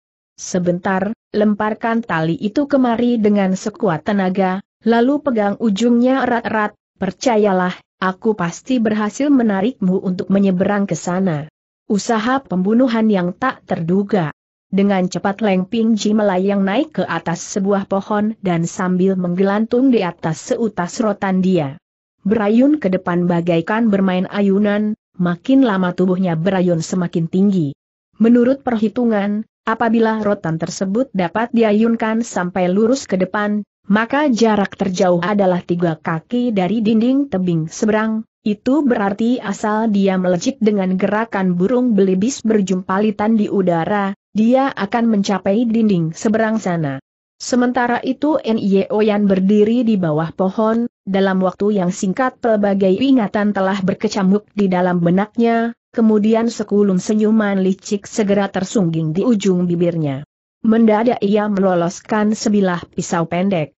Dasar nasib Leng Pingji sedang baik, sewaktu badannya sedang melayang sampai di tengah jalan, Tiba-tiba ia menyaksikan Nye Oyan yang sedang berada di bukit salju di belakang sana sedang tertawa licik. Bukit itu merupakan sebuah bukit yang tercipta oleh pembekuan salju yang terjadi banyak tahun, permukaannya licin dan bening seperti cermin, apalagi di bawah timpaan sinar terang, otomatis mimik wajah Nye Oyan yang sedang menyeringai licik itu terpantul di atas permukaan tersebut. Kendati pun Leng Pingji tak tahu apa yang sedang dipikirkan Nye Oyan, akan tetapi pengalamannya berulang kali menghadapi usaha pembunuhan dari Toan Kiam Cheng menyebabkan kewaspadaannya selalu ditingkatkan terhadap setiap orang. Oleh sebab itu betapa terperanjatnya Nona ini setelah menyaksikan senyum licik di ujung bibir Nye Oyan, sebab senyuman itu persis seperti senyuman Toan Kiam Cheng dikala hendak membunuhnya tempo hari. Tanpa berpikir panjang lagi ia segera berayun kembali, pada saat itulah tubuhnya menjadi enteng. Tanpa berpikir panjang lagi ia segera berayun kembali, pada saat itulah tubuhnya menjadi enteng, tiba-tiba rotan tersebut putus.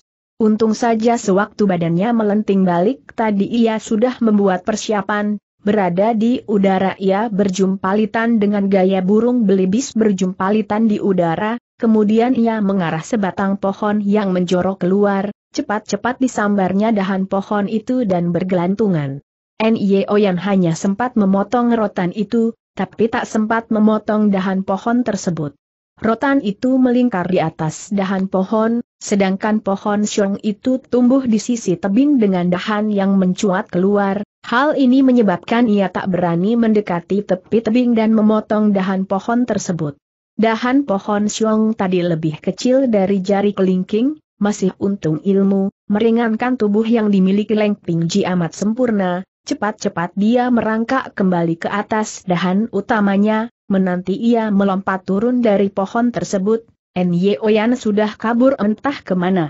Lolos dari ancaman maut, mula-mula Leng Pingji merasakan pikirannya kosong, hampir saja ia tak percaya kalau hal ini merupakan kenyataan. Dengan cepat dia memeriksa potongan rotan yang masih melingkar di atas dahan pohon tersebut, gadis itu ingin tahu putusnya rotan akibat tak kuat menahan bobot badannya atau karena sebab lain. Ternyata rotan bekas dipotong orang, ini dapat terlihat dari bekas putusnya yang rata dan halus. Tak terlukiskan rasa pedih Leng Pingji setelah menyaksikan keadaan itu, bahkan jauh lebih tersiksa sewaktu terjebak dan nyaris dipermainkan N.Y. Oyan tadi. Kalau dikatakan pertama kali tadi N.Y. Oyan berbuat keji kepadanya karena belum tahu siapa dia, betul kejadian itu menggemaskan, namun masih bisa dimaklumi. Tapi bagaimana dengan kali ini? Kali ini dia sudah tahu siapakah Leng Pingji itu, bahkan menangis terseduh sambil menyatakan rasa sesalnya. Siapa tahu, di satu pihak ia memohon pengampunan dari Leng Pingji, di pihak lain ia merencanakan siasat keji untuk mencelakainya. N.Y. Oyan wahai N.Y. Oyan, aku benar-benar tidak mengira kalau kau telah mengidap penyakit syaraf. Leng Pingji tidak sampai mencaci maki, air mata pun masih bisa ditahan, akan tetapi hatinya telah berdarah. Dengan cepat Leng Pingji memusatkan kembali semua pikirannya dan berusaha untuk mengendalikan perasaan sedih yang mencekam perasaannya, setelah itu teriaknya, Ny Oyan, kau tak akan berhasil menyembunyikan diri. Satu kali bisa bersembunyi, kedua kali tak akan bisa kau hindari. Betul aku bersedia melepaskan dirimu, tapi Toakomu dan para pendekar tak akan melepaskan dirimu dengan begitu saja. Dapatkah kau melanjutkan suatu kehidupan yang terpencil sepanjang hidup? Lebih baik keluar dan menyerahkan diri, beritahukan kepadaku, mengapa kau bersikap demikian kepadaku? Kalau tidak, bila sampai kutangkap maka aku tak akan mengampuni dirimu. Rembulan bersinar terang di tengah keheningan yang mencekam tanah perbukitan itu, hanya suara deruan angin yang terdengar, namun tiada jawaban dari N.Y. Oyan. Batu cadas berserakan di sana-sini, semak belukar bergerombol di timur dan di barat, tidak diketahui N.Y. Oyan menyembunyikan diri di belakang batuan yang mana. Gadis itu mengetahui dengan pasti, dengan ilmu meringankan tubuh yang dimiliki N.Y. Oyan, tak mungkin dia bisa kabur terlampau jauh, sudah pasti ia bersembunyi di sekitar tempat itu, namun untuk menemukan jejaknya bukan suatu hal yang gampang. Lagi pula bila telah berhasil menangkapnya apa pula yang bisa dia lakukan? Tegakah dia membunuhnya? Leng Pingji benar-benar tak tahu care untuk menghadapi N.Y. Oyan, karena itu diam-diam ia menghela napas dan melepaskan niatnya untuk melakukan pencarian. Tindakan yang harus segera dilakukan adalah menemukan Encilo mana lebih dahulu, sedang binatang kecil itu biar saja hidup untuk sementara waktu, Demikian Leng Pingji berpikir. Tapi, ke mana ia harus menemukan jejak Lomana? Segulung angin dingin berhembus lewat, pikiran Leng Ping. Ji segar kembali. Setelah ia berhasil membongkar kedok kemunafikan N.I.O. yang hendak mencelakainya, selapis kabut kebingungan yang semula menyelimuti matanya pun segera terhembus buyar. Tentu saja ia tak dapat mempercayai omongan N.I.O. juga tidak percaya kalau Toan Kiam Cheng bersembunyi di dalam sebuah gua yang penuh dengan alat jebakan.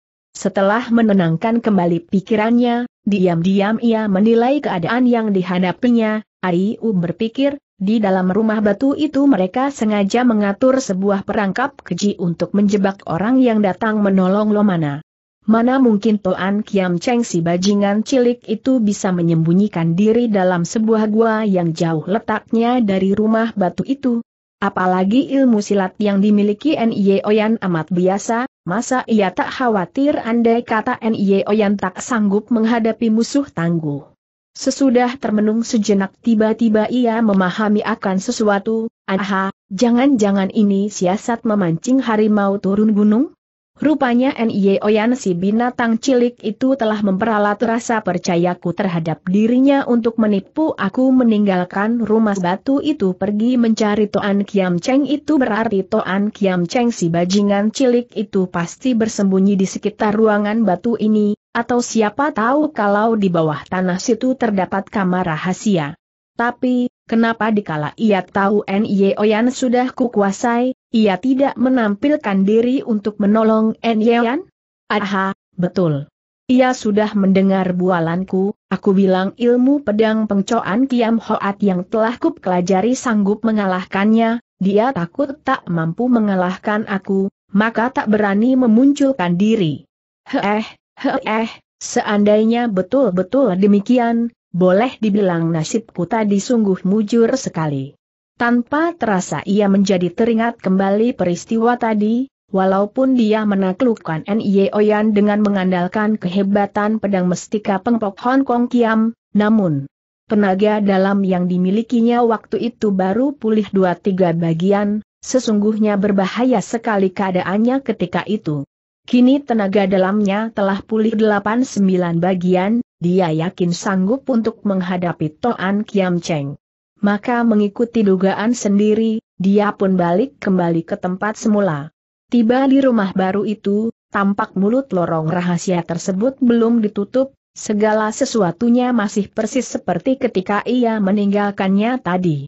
Diam-diam Leng Ping Ji menjadi keheranan, dia tak tahu dugaannya benar atau tidak. Sementara orang-orangan yang terbuat dari kulit itu masih tergeletak di bawah, diam-diam Leng Ping Ji menghela napas. Lomana gadungan itu telah membuatnya terjebak, bagaimana dengan Lomana yang asli? Dia telah disembunyikan di mana? Sementara ia masih pusing dan termenung dengan kebingungan, mendadak terdengar suara yang cukup dikenal olehnya berkumandang. Encileng, encileng itulah suara Lomana. Untuk sesaat, hampir saja dia merasa dirinya sedang bermimpi, tapi suara panggilan itu terdengar amat jelas, sudah pasti bukan sedang bermimpi. Lah mencoba untuk meraba orang-orangan di bawah kakinya, benda itu memang orang-orangan, sudah tentu orang-orangan tak mungkin bisa berbicara. Tapi ia belum juga menemukan lomana yang asli. Gadis itu coba mengintip dari mulut lorong rahasia, dalam ruang bawah. Tanah di mana ia bersua dengan N.I.O. yang tadi pun tidak ditemukan jejak lomana. Hampir saja dia akan menyahut, ingin memberitahukan kepada Lomana kalau ia sudah datang dan berada di situ. Untung saja dia cukup berpengalaman, dalam waktu singkat dia mengendalikan pergolakan emosi yang membara di dalam dadanya, dengan cepat segenap pikirannya dipusatkan dan ketenangannya pulih kembali. Ia tahu, Lomana berteriak memanggilnya belum tentu karena melihat kehadirannya, tapi Lomana pun tak mungkin memanggil namanya tanpa sebab-sebab tertentu, ditinjau dari sini, dapat diketahui bahwa kehadirannya di situ tadi pasti telah diketahui oleh Lomana. Waktu itu, dia pasti sedang dikuasai oleh Toan Kiam Cheng si bajingan cilik itu, siapa tahu kalau jalan darahnya tertotok. Dan sekarang, Toan Kiam Cheng mengira aku telah pergi jauh, maka jalan darahnya baru dibebaskan. Aaai, Untung saja aku tidak bertindak gegabah, sudah pasti Toan Kiam Cheng hadir di sisinya sekarang, bila ia sampai mendengar suaraku, mana mungkin aku dapat menyelamatkan Enci Lomana dari sekapannya? Aaai, entah care apakah yang harus kugunakan untuk menghadapinya? Dugaannya memang benar, tapi sayang dia hanya berhasil menebak setengahnya saja. Ilmu meringankan tubuhnya segera dikerahkan dan diam-diam melompat masuk lewat mulut lorong tersebut. Benar juga, dari dalam lorong itu segera terdengar seseorang sedang tertawa dingin. Heh, heh, kau masih ingin menantikan kedatangan Enci Pengmu untuk menolong? Jangan bermimpi di siang hari bolong. Selain ruangan di bawah tanah tersebut, masih ada ruangan rahasia lain, Lomana disekap dalam ruangan rahasia tersebut dalam hal ini, dugaannya memang tepat.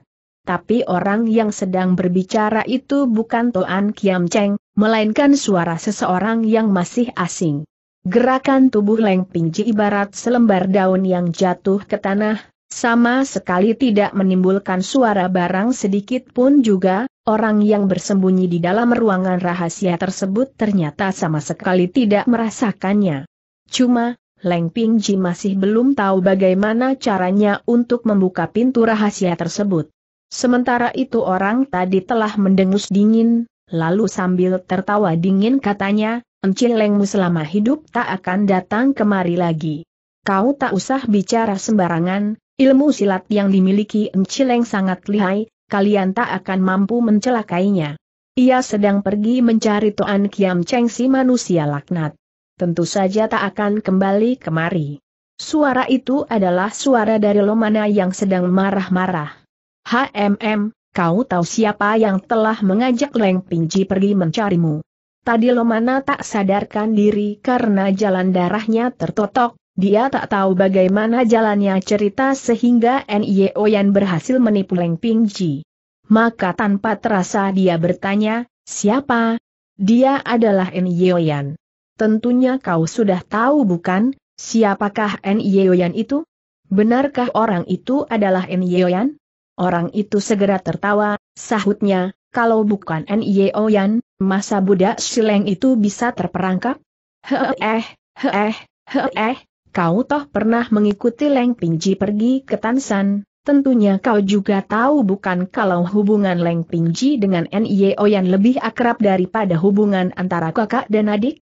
Bila ia benar-benar adalah Nye Oyan, tak mungkin dia akan mencelakai Encileng seru Lomana cepat tapi suaranya kedengaran agak gemetar, dia hanya bermaksud untuk menghibur diri sendiri padahal tidak yakin.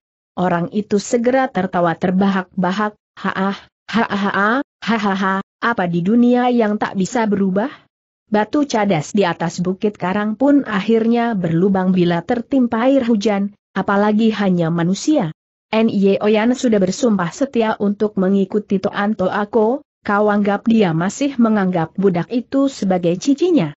Diam-diam Leng Pingji menghela napas panjang, pikirnya, walaupun orang ini adalah orang jahat yang sekomplotan dengan Toan Kiam Cheng, namun caranya berbicara masuk akal, manusia memang bisa berubah-ubah, adik Yan yang dulu kini sudah tiada lagi.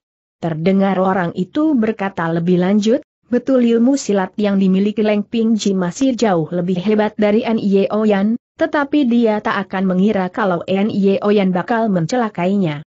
Sekalipun aku tidak tahu dia mencelakainya dengan care apa, tetapi aku tahu kecerdasan Nye Oyan, ia pasti akan berhasil mendapatkan akal untuk mencelakai jiwanya. Sebab itu, kuanjurkan kepadamu lebih baik padamkan saja ingatanmu itu, tak usah terlalu mengharapkan kedatangan Leng Pingji untuk menyelamatkan dirimu. Aku tidak percaya, aku tidak percaya teriak Lomana keras-keras. Tapi suaranya kian lama kian bertambah gemetar.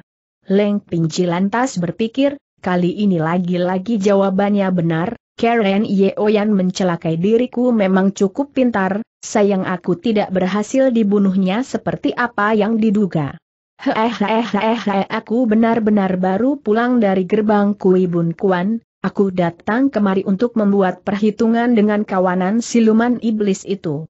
Sayang, walaupun selisih mereka amat dekat namun terasa jauh sekali. Ia cuma mendengar suara Lomana namun tak mampu menyelamatkan dirinya. Tiba-tiba terdengar suara Lomana sedang berteriak lagi, Hei, mau apa kau? Bila kau berani menyentuhku, aku akan segera bunuh diri di hadapanmu. Leng Pingji mengira orang itu hendak menodai Lomana, saking mendongkolnya dia sampai mencak-mencak seperti kambing terbakar jenggotnya. Dia hanya gemas kenapa pedang pengpok Hong Kong Kiam yang dipegangnya ini meski mestikan namun bukan pedang yang tajam, kalau tidak, dia ingin menjebol pintu dan menyerbu ke dalam. Tak usah khawatir, aku tidak akan menodai dirimu, kedengaran orang itu berkata. Asal kau mau menurut perkataanku dan ikut pergi, seujung rambut pun aku tidak akan mengganggumu. Setelah mendengar ucapan itu, Leng Pingji yang berada di luar baru menghembuskan napas lega, pikirnya, tidak peduli dia bersungguh hati atau tidak, asal ia bersedia mengajak Lomana keluar dari situ, urusan jadi lebih gampang penyelesaiannya. Enci Lomana, kabulkan permintaannya. Sayang Lomana tidak tahu kalau dia berada di luar, sewaktu mendengar perkataan itu, ia tampak agak tercengang, kemudian katanya, bukankah Toan Kiam Cheng memerintahkan dirimu untuk tinggal di sini menjaga aku? Kau hendak mengajakku pergi ke mana? Pergi jalan-jalan, sahut orang itu sambil tertawa. Sudah beberapa hari kau disekap di sini, masa tidak sumpek? Aku bersedia mengajakmu keluar dan berjalan-jalan. Jalan-jalan? Enak amat kalau berbicara. Kau anggap aku adalah bocah berumur tiga tahun yang percaya obrolan setanmu. Sudah pasti mempunyai rencana busuk orang itu segera tertawa kau jangan banyak curiga, sekalipun aku bernyali besar dan suka main perempuan, tak akan berani kulalap kekasih hari toanto aku. Kau, kau tak usah mengaco belo, teriak Lomana dengan gusar. Aku lebih suka mati daripada menuruti perkataanmu. Jangan mencari mati, kata orang itu sambil tertawa, tak lama lagi, ayahmu pasti akan datang untuk menjemput pulang. Bila kau mati, bukankah dia orang tua akan merasa sedih? Lomana menjadi tertegun. Hei, jika ingin membohongi diriku, bohongi dengan kata-kata yang agak masuk di akal, serunya. Dari mana ayahku bisa tahu kalau aku berada di sini? Kepandaianmu membohongi orang masih belum terhitung hebat. Aku tidak bohong, untuk menarik rasa percayamu, aku telah memberitahukan segala sesuatunya. Baik, coba kau katakan. Toan Kiam Cheng lah yang pergi memberitahukan hal ini kepada ayahmu. Huuh, omonganmu makin lama semakin melantur, masa bangsat itu bisa berbaik hati. Orang itu segera tertawa terbahak-bahak. Haa kau anggap ia berbuat demikian karena berbaik hati. Terus terang aku beritahukan padamu, pada mulanya dia berhasrat untuk menodai tubuhmu, tapi melihat kau bersikeras menolak kemauannya, maka dia baru berubah pikiran. Ia bersedia melepaskan kau pulang, tentu saja disertai dengan beberapa syarat. Dengan cepat Lomana menjadi paham, dan katanya kemudian, Oha, rupanya dia hendak menggunakan aku untuk mengancam ayahku. Tepat sekali. Ayahmu kepala suku Wana, dia hanya mempunyai seorang putri saja, tak nanti ia tidak datang untuk menolong dirimu, walaupun wajahmu cantik jeli tampak bidadari dari kahyangan, sayang orang cantik tak ada gunanya bagi Toan Kiam Cheng, apalagi kalau sesosok mayat belaka. Maka itu dia akan menggunakan dirimu menjadi barang barteran dengan kedudukan ayahmu, tentu saja tawar-menawar tidak bisa dihindari, dan aku rasa hargamu pun tak mungkin bisa terlampau rendah. Bajingan itu sungguh menggemaskan, ayahku tidak akan sampai tertipu olehnya, seru Lomana dengan gemas. Aku berani bertaruh denganmu, ayahmu itu pasti rela mengorbankan segala-galanya demi menebus dirimu. Lomana merasakan hatinya kalut sekali. Ia khawatir ayahnya kena tipu Toan Kiam Cheng, tapi dia pun berharap bisa berjumpa dengan ayahnya. Lah tahu care pandang dari orang ini benar, diam-diam dia pun berpikir, benar, bila ayah tahu kalau aku terjatuh ke tangan bajingan cilik ini, sekalipun harus mengorbankan selembar jiwanya, dia pasti akan menolongku tapi ayah adalah ketua dari satu suku bangsa, seandainya Toan Kiam Cheng si bangsat keparat ini memang bermaksud untuk memperalat suku bangsaku dan memaksa ayah untuk melakukan perbuatan-perbuatan yang tak ingin dia lakukan, apa dayanya? Aaai, untuk menghindari ayahku turut tersiksa, lebih baik aku mati saja. Tapi berada dalam ruangan dan pengawasan yang ketat dari orang itu, mustahil dia bisa menemukan kesempatan untuk menghabisi nyawa sendiri. Selain itu, dia pun tak ingin cepat-cepat mati. Ia teringat kepada putranya, teringat suaminya, teringat teman-temannya, terutama sekali Beng Hoa dan Leng Ping Ji. Tiba-tiba timbul sepercik harapan dalam hati kecilnya. Enci Peng sudah datang, walaupun orang ini mengatakan Nio Yan pasti dapat mencelakai jiwanya, tapi perhitungan manusia tak akan mengalahkan perhitungan Tian, belum tentu harapan mereka itu tercapai. Kenapa aku harus mempercayai gertak sambalnya itu? Setelah muncul setitik harapan tersebut berkobarlah kembali keinginan untuk melanjutkan hidup, diam-diam ia berpikir, sekalipun harus bunuh diri, aku harus mengetahui dengan pasti bahwa Enci Peng telah tewas. Berpikir sampai di situ, dia menjadi ingin mengikuti orang ini keluar dari ruangan tersebut. Tentu saja dia tahu kalau orang ini mempunyai maksud jahat tapi dia berharap bisa bertemu dengan Leng Pingji setelah tiba di luar ruangan rahasia itu. Belum habis ingatan tersebut melintas, terdengar orang itu telah berkata lagi, sudah kau pikirkan dengan matang belum? Toan Kiam Cheng sudah pergi selama dua hari, tak lama kemudian ayahmu akan datang menjemputmu, Apakah kau tak ingin pulang ke rumah dan berkumpul kembali dengan suami dan anakmu? Turutilah perkataanku, mari kita pergi. Kenapa kau memaksaku untuk keluar dari sini? Aku tidak percaya dengan omongan setanmu tadi. Kau tak usah terlalu banyak bicara, kata orang itu sambil tertawa, pokoknya aku tidak bermaksud mencelakai dirimu, aku pun tak akan menodai dirimu. Meski kau cantik, Sayang dirimu bagaikan sekuntum bunga mawar yang penuh duri.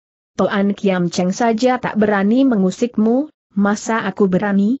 Ternyata orang ini pun merasa kesal bercampur gelisah ketika dilihatnya sampai sekian lama N.I. Oyan belum juga datang.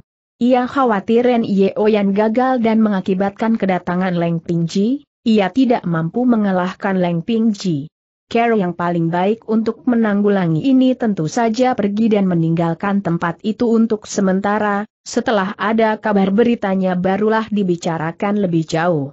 Tempat persembunyian yang akan dituju diketahui oleh N.I. Oyan, asal N.I. Oyan benar-benar berhasil mencelakai Leng Pingji, otomatis dia akan datang mencarinya. Karena tak bisa menunggu lebih jauh, segera ujarnya, Hei sebetulnya kau bersedia pergi tidak? Kalau tidak mau, terpaksa aku akan menggunakan kekerasan. Jangan sentuh aku, aku bisa berjalan sendiri. Haah, haah, haah, begitulah baru benar, baik, aku tak akan menyentuhmu, tapi harus berjaga-jaga, harap jangan menyalahkan.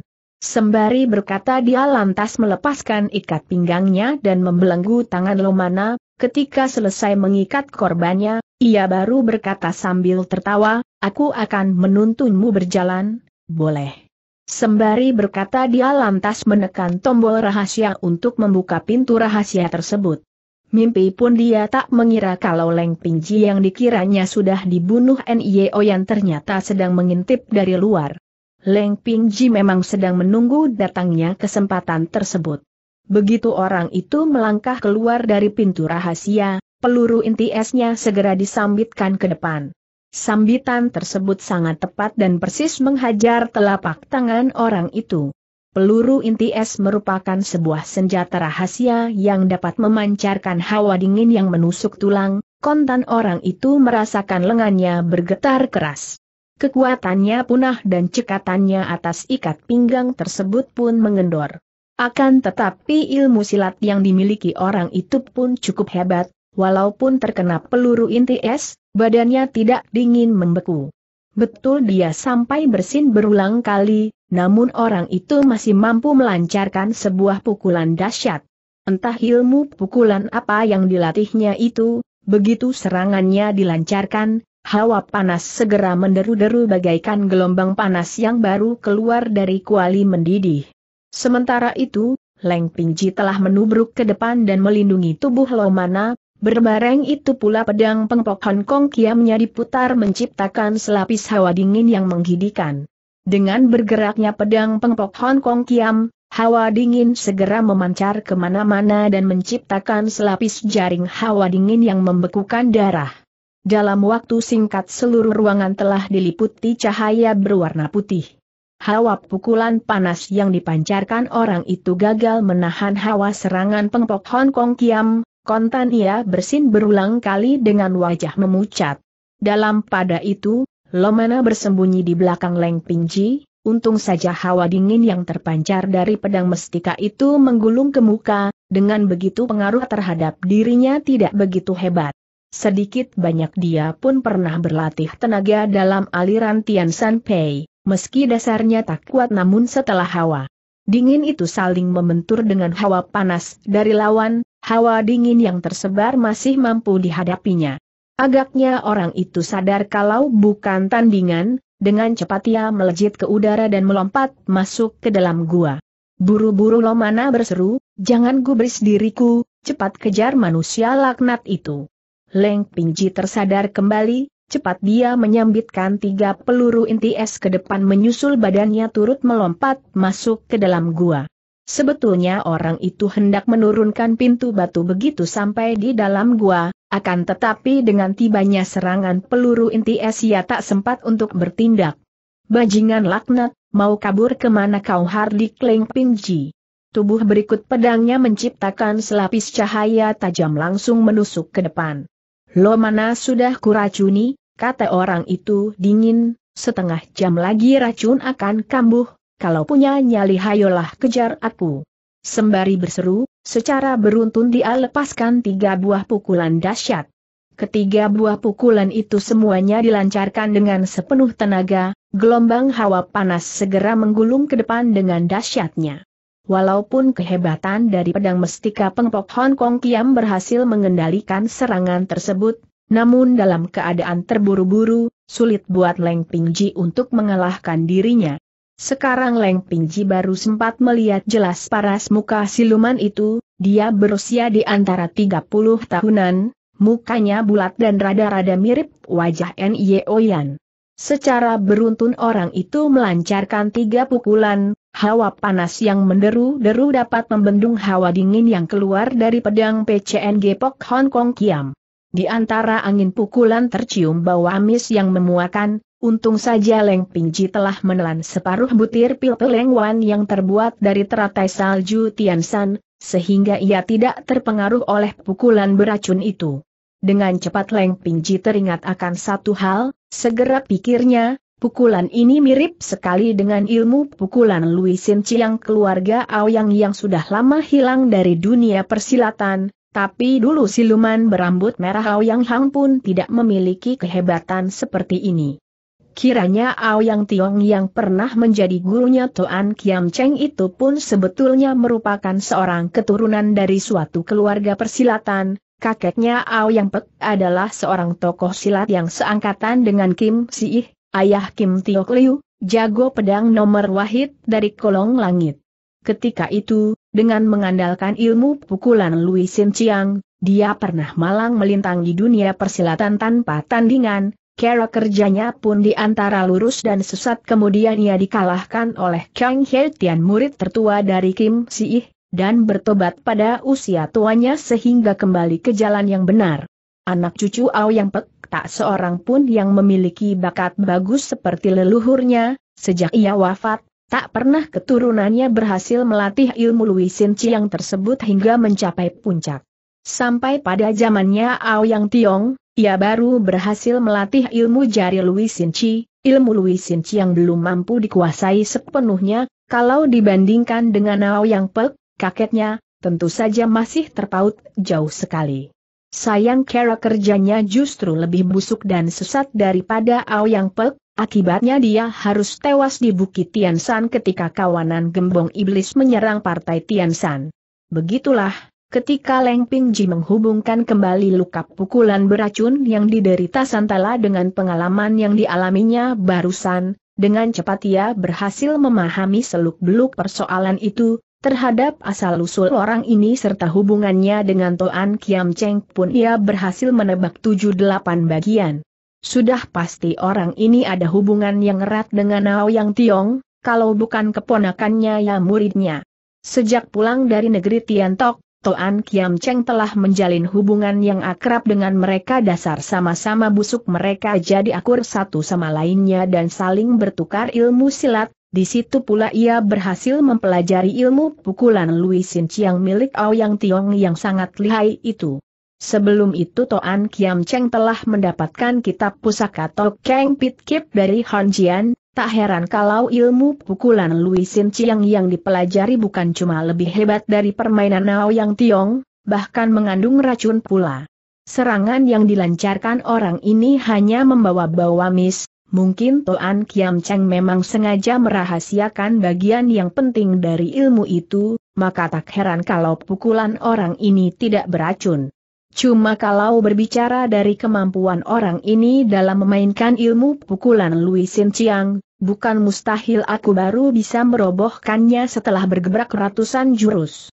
Menurut orang itu, dia telah mencekoki Lomana dengan sejenis racun yang lambat kerjanya, Leng Pingji tidak berani mengabaikan ancaman tersebut dengan begitu saja. Demikianlah di bawah serangan-serangan Leng Pingji yang gencar, mendadak orang itu melepaskan pukulan tipuan, kemudian membalikan badan dan kabur. Mau kabur ke mana kau bentak Leng Pingji? Tubuh berikut pedangnya dengan menciptakan selapis cahaya tajam langsung menusuk ke depan. Bila kau tidak memedulikan keselamatan jiwa Lomana, silakan mengejar kami, tantang orang itu.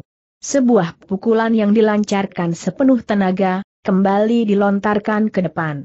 Sejak semula Leng Pingji telah membuat persiapan, telapak tangannya segera diayunkan ke depan, dengan gaya Tian Ii San Hoa, bidadari menyebar bunga, ia lepaskan tujuh butir peluru inti es ke depan.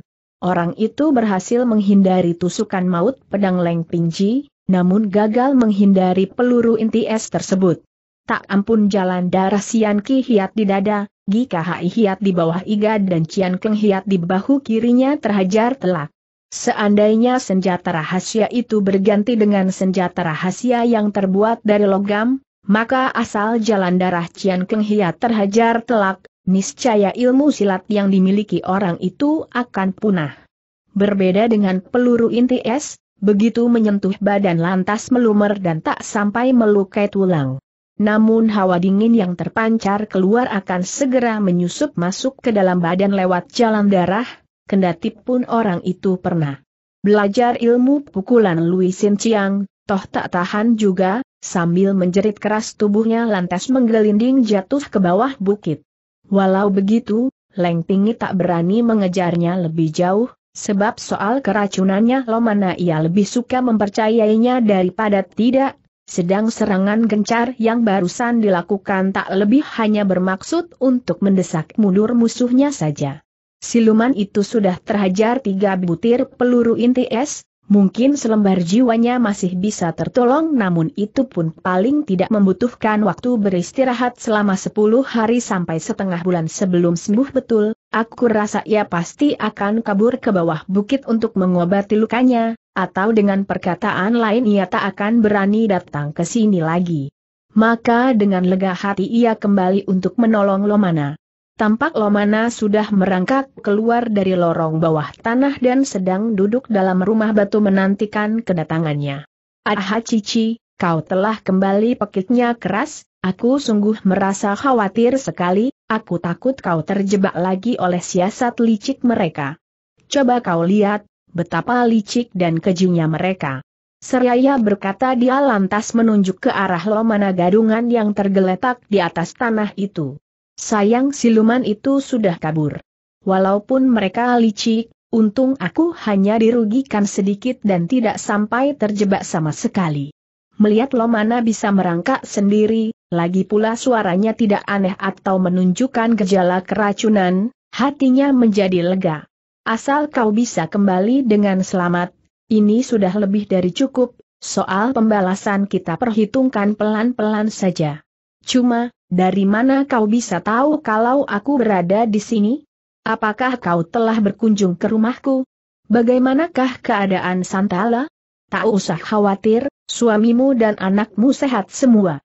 Sekarang jangan banyak bicara dulu, mari ku periksakan denyut nadimu. Leng Pingji mengerti garis besar ilmu pertabiban, ketika nadinya diperiksa, ternyata denyutannya amat tenang tanpa gejala apa pun, legalah hatinya. Apakah kau merasakan dadamu sesak, atau kepalamu pening? Mata menjadi berkunang-kunang demikian ia bertanya. Tidak ada. Kenapa kau menanyakan soal itu kepadaku orang itu mengatakan kau telah keracunan. Aha, semalam aku hanya makan ubi jalar, itu pun makan mentah-mentah sampai sekarang aku juga tidak minum air barang seteguk pun, dari mana datangnya racun itu? Setelah mendengar penjelasan itu, barulah Leng Pingji sadar kalau dirinya lagi-lagi tertipu. Tapi dia rela dirinya tertipu, daripada membiarkan Lomana betul-betul keracunan.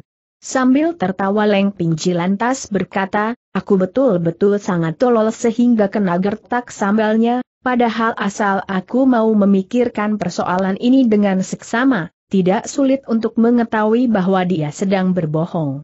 Perlu diketahui, Lomana bukannya tak mengerti ilmu silat, tapi bila ilmu silat yang dimilikinya itu harus dibandingkan dengan kepandaian siluman tersebut sudah barang tentu selisihnya jauh sekali. Selain itu, siluman tersebut pun tidak tahu kalau hari ini bakal terjadi peristiwa, itu berarti tak mungkin mereka merencanakan untuk memasukkan racun keji ke dalam tubuh Lomana lewat makanan atau minuman, kalau diawasi saja dapat, kenapa pula mesti diracuni?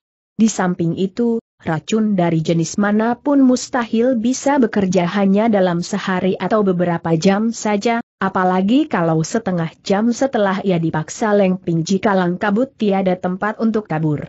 Menurut pengakuan Lomana tadi, dia makan ubi mentah pada sehari berselang, tapi sekarang denyutan nadinya tidak menunjukkan gejala keracunan, dengan cepat Leng Pingji merasakan hatinya menjadi lega. Maka dia pun menceritakan apa yang dilihatnya di rumah Lomana kepada perempuan itu, tahu kalau suaminya telah lolos dari ancaman bahaya, juga putranya sudah dikirim ke rumah ayahnya, Lomana merasa lega sekali.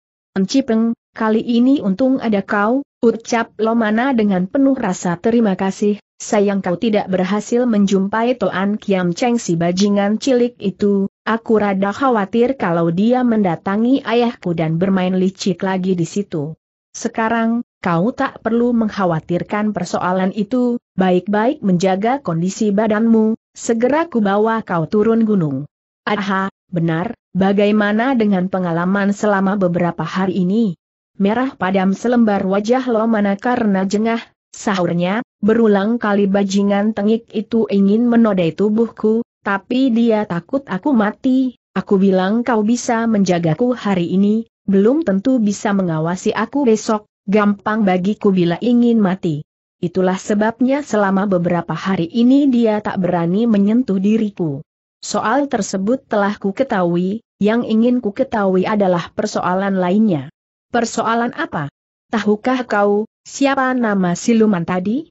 Toan Kiam Cheng memanggil bajingan itu saudara Ouyang, namanya tidak begitu jelas. Setelah tahu kalau dugaannya tak salah, kembali Leng Pingji berkata, asal kita sudah tahu kalau dia berasal dari keluarga Aoyang, itu sudah cukup. Masih ada satu hal lagi, bukankah kau pernah bertemu dengan N.Y. Oyan ketika berada di Tiansan dulu? Benar, Cuma waktu itu dia masih seorang bocah ingusan, setelah tiba di sini, pernahkah kau bertemu dengannya? Apakah Toan Kiam Cheng bajingan cilik itu memanggilnya adik Yan? Sewaktu datang kemari untuk pertama kalinya, kami pernah bersuah satu kali.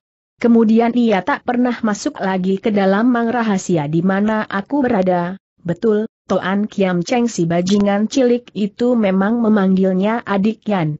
Leng Pingji segera merasakan hatinya bagaikan tenggelam, ia bertanya lebih jauh. Menurut perasaanmu, miripkah dia dengan En Yoyan? Lo mana segera tertawa pertanyaan ini seharusnya aku yang menanyakan kepadamu, masa kau malahan bertanya kepadaku? Dia mempunyai hubungan persaudaraan yang erat dengan dirimu, waktu berkumpul pun jauh lebih panjang daripadaku. Ketika aku berada di Tiansan tempo hari, Aku hanya sempat bertemu beberapa kali aja, bagaimana tampangnya di waktu kecil dulu, aku sudah agak kabur sekarang. Cuma, kalau didengar dari pertanyaanmu itu, apakah kau menaruh curiga terhadap bocah tersebut? Leng Pingji segera menghela napas panjang. Aaai, aku sangat berharap kalau bocah keparat itu bukan N.Y. Oyan, tapi kenyataannya telah membuat diriku tak bisa curiga lagi. Ternyata tujuannya menanyakan hai ini kepada Lomana mengandung setitik harapan, dia berharap Lomana sebagai orang di luar garis bisa menemukan titik-titik kelemahan. Tiba-tiba Lomana berseru, Betul, aku pun merasa agak curiga. Apa yang kau curigai buru-buru Leng Pingji bertanya. Dari soal wajah, aku tak berani bicarakan. Tapi soal watak, aku merasa tidak mirip. Sewaktu masih kecil dulu watak NIO. Yan memberikan kesan yang dalam kepadaku, dia sangat pintar juga nakal, tapi jelas dapat membedakan antara yang benar dan salah. Aku masih ingat, suatu kali demi melindungi seekor kijang kecil yang ditangkap burung elang, ketika gagal menghajar elang tersebut, ia menjadi marah dan bersedih hati sampai setengah harian lamanya. Bagaimanakah watak Nio Yan ketika masih kecil dulu, tentu saja Leng Pingji jauh lebih memahami daripada Lomana. Apa yang disinggung Lomana tadi, dia pun tahu maka sekalipun dibicarakan sama artinya bagaikan tidak dibicarakan, namun ucapan dari Lomana itu justru telah merangsang kembali pemikirannya lebih jauh. Benar, sewaktu masih kecil dulu, adik yang tidak seperti sekarang ini, setelah dewasa mengapa ia seakan-akan berubah menjadi seseorang yang lain? Tapi, manusia dapat berubah, tanpa terasa ia teringat kembali akan perkataan dari siluman itu, lagi pula ucapan tersebut sudah cukup dipahami olehnya.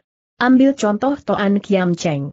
Ia teringat kembali akan Toan Kiam Cheng pada 10 tahun berselang.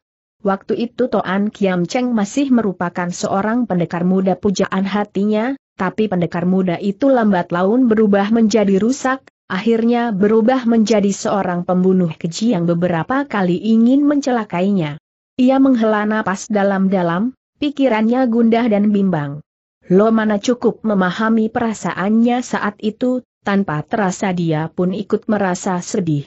Mendadak satu ingatan berkelebat dalam benaknya, ia lantas berkata, Encileng, aku teringat lagi akan satu persoalan. Persoalan apa? Aku berhasil menyadap pembicaraan Toan Kiam Cheng dengan mereka, agaknya mereka menyinggung tentang seseorang dan orang itu pun ada hubungannya dengan N.I.O. Yan. Aha, cepat kau katakan. Malam itu, Toan Kiam Cheng bajingan cilik itu mengira aku sudah tidur, ia bersama siluman Si Ouyang dan N.I.O. Yan berbincang-bincang di kamar sebelah. Mula-mula siluman Si Ouyang itu memberitahukan suatu persoalan kepada Toan Kiam Cheng, Katanya ada seorang yang bernama Ki telah muncul kembali dalam dunia persilatan. Haah, apakah kisi kiat seru Leng Pingji dengan terperanjat? Betul, betul, orang itu bernama Kisi Kiat. Aaai, maklum kata-kata di dalam bahasa Han banyak yang sama suaranya berbeda tulisannya, jadi sulit diingat. Setelah kau sebutkan tadi, aku baru yakin kalau ketiga patah kata itu benar. Apa yang mereka bicarakan tentang kisi kiat tanya Leng Pingji lagi. Ketika mendengar kabar itu, Toan Kiam Cheng seperti rada tercengang. Kemudian terdengar ia bertanya kepada siluman si yang itu. Bukankah aku dengar kisi kiat bocah keparat itu sudah lama lenyap tak berbekas? Tak ada yang tahu ke mana ia telah pergi, kenapa ia muncul lagi secara tiba-tiba? Aku malah mengira dia sudah mampus. Siluman itu pun segera menjawab, betul, sejak dua tahun berselang di berbekas di sekitar kota iblis, tiga bulan berselang kota iblis telah dilanda gempa bumi hebat, semua bangunan di sana musnah, apakah Toan Toako belum dengar tentang kabar berita ini ujar Toan Kiam Cheng kemudian, aha, jadi telah berlangsung peristiwa begitu? Terus terangku katakan, dua tahun berselang aku pernah minta tolong kepada Lian Kan Pei, Chu Kian Kong dan Sacam untuk memenggal batok kepala Kisi Kiat dan diserahkan kepadaku, siapa tahu nasib. Kisi Kiat memang sedang mujur, kebetulan dia bertemu dengan Leng Pingji, apalah Cur Lian Lotoa bertiga pun cuma gentong-gentong nasi yang tak berguna, mereka kena dibikin keok semua di tangannya.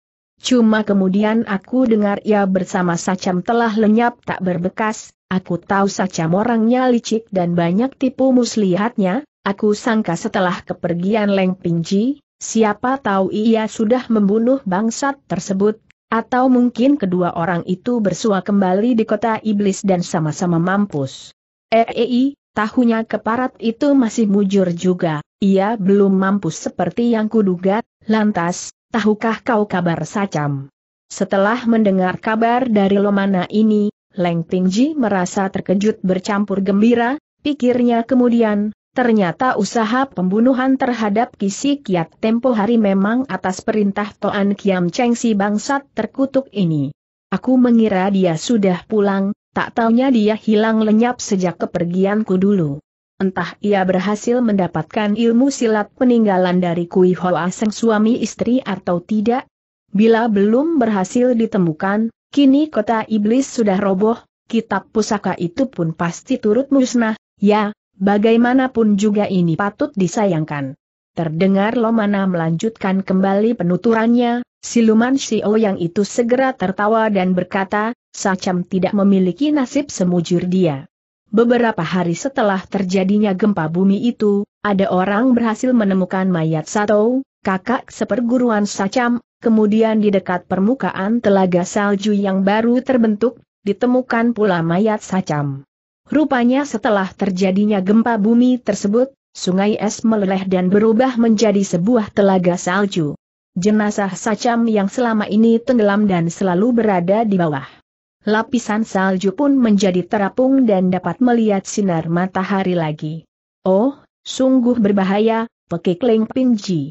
Seandainya Kisi Kiat benar-benar berada di kota iblis bersama Sacam, entah dengan care apa dia berhasil menghindarkan diri dari bencana tersebut? Apakah Kisi Kiat adalah sahabat karibmu tiba-tiba Lomana bertanya.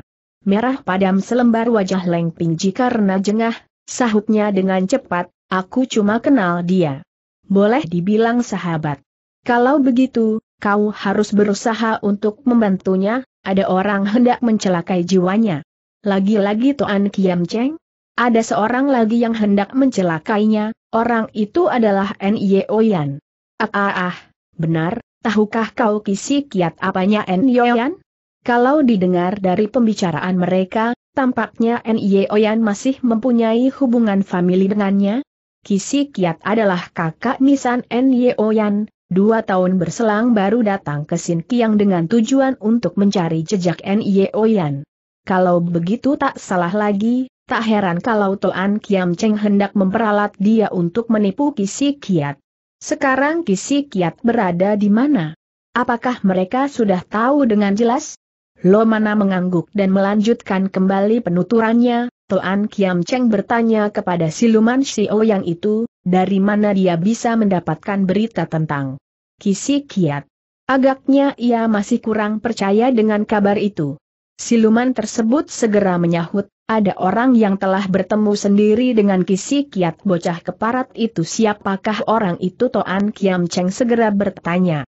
Jawab siluman itu, dia adalah seorang lama dari golongan Mi Tiong, ia datang untuk mencari suhengnya.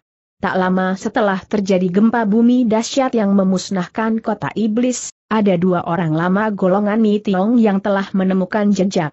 Dari mulut Lian Kan Pei, kedua orang lama tersebut telah memperoleh keterangan tentang raut wajah Kisi Kiat, mereka itu pun tahu kalau suhengnya Sacam turut lenyap bersamaan dengan lenyapnya Kiai Si Kiat, maka dia pun menanyai bocah keparat itu. Bagaimana kisah yang sejelasnya kurang begitu tahu tetapi yang jelas mereka saling bertempur dengan serunya, kemudian kedua orang lama itu pun kena ditotok jalan darahnya oleh bocah itu. Kejadian ini ku ketahui dari Lian Kan Pei, aku rasa tak mungkin dia akan membohongiku, Toan Kiam Cheng lantas berkata jagi, apakah Lian Kan Pei yang menyuruh kau menyampaikan berita ini kepadaku? Siluman itu segera menjawab, benar. Dia bilang ia telah memikul tanggung jawab yang berat, karena tak mampu melaksanakan tugasnya dengan baik maka tak berani datang untuk menjumpaimu. Dia titip, kabar ini padaku untuk disampaikan kepadamu, dengan harapan berita tak dapat menebus keteledorannya itu.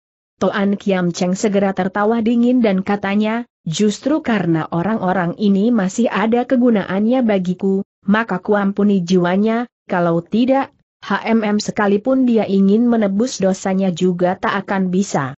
Tetapi sekarang, tak usah mengurusi soal Yan Loto lagi, aku hanya ingin tahu di manakah kedua orang lama itu berjumpa dengan Kisi Kiat.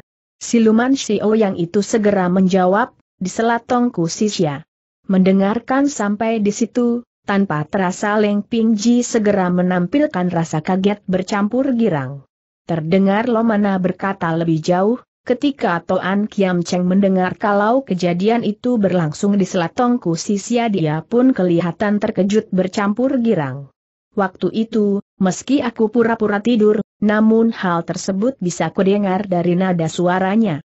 Apa yang dia katakan buru-buru Leng Pingji bertanya. Dia mengulangi kembali pertanyaannya itu kepada siluman. Tersebut, apa benar berada di Selat Tongkusisya? Siluman itu menyahut bahwa hal ini tak bakal salah lagi, kisi kiat berada di selat tersebut. Toan Kiam Cheng si bajangan keparat ini segera tertawa terbahak-bahak, katanya, bocah keparat ini benar-benar surga ada jalan tak mau ditempuh, neraka tak berpintu justru dimasuki, tapi aku tidak begitu jelas kenapa dia sampai berkata demikian. Selat Tongku Sisya merupakan jalan penting yang menghubungkan kota iblis dengan tempat ini, kata Leng Pingji. Dengan ditemukannya kisi kiat di Tongku Sisya, itu berarti bisa diduga kalau kisi kiat pasti akan datang kemari. Jalan itu terpencil dan sepi sekali, bila ingin membunuh seseorang di tempat itu, maka hal ini bisa dilakukan dengan sangat mudah tanpa khawatir diketahui oleh siapa pun juga.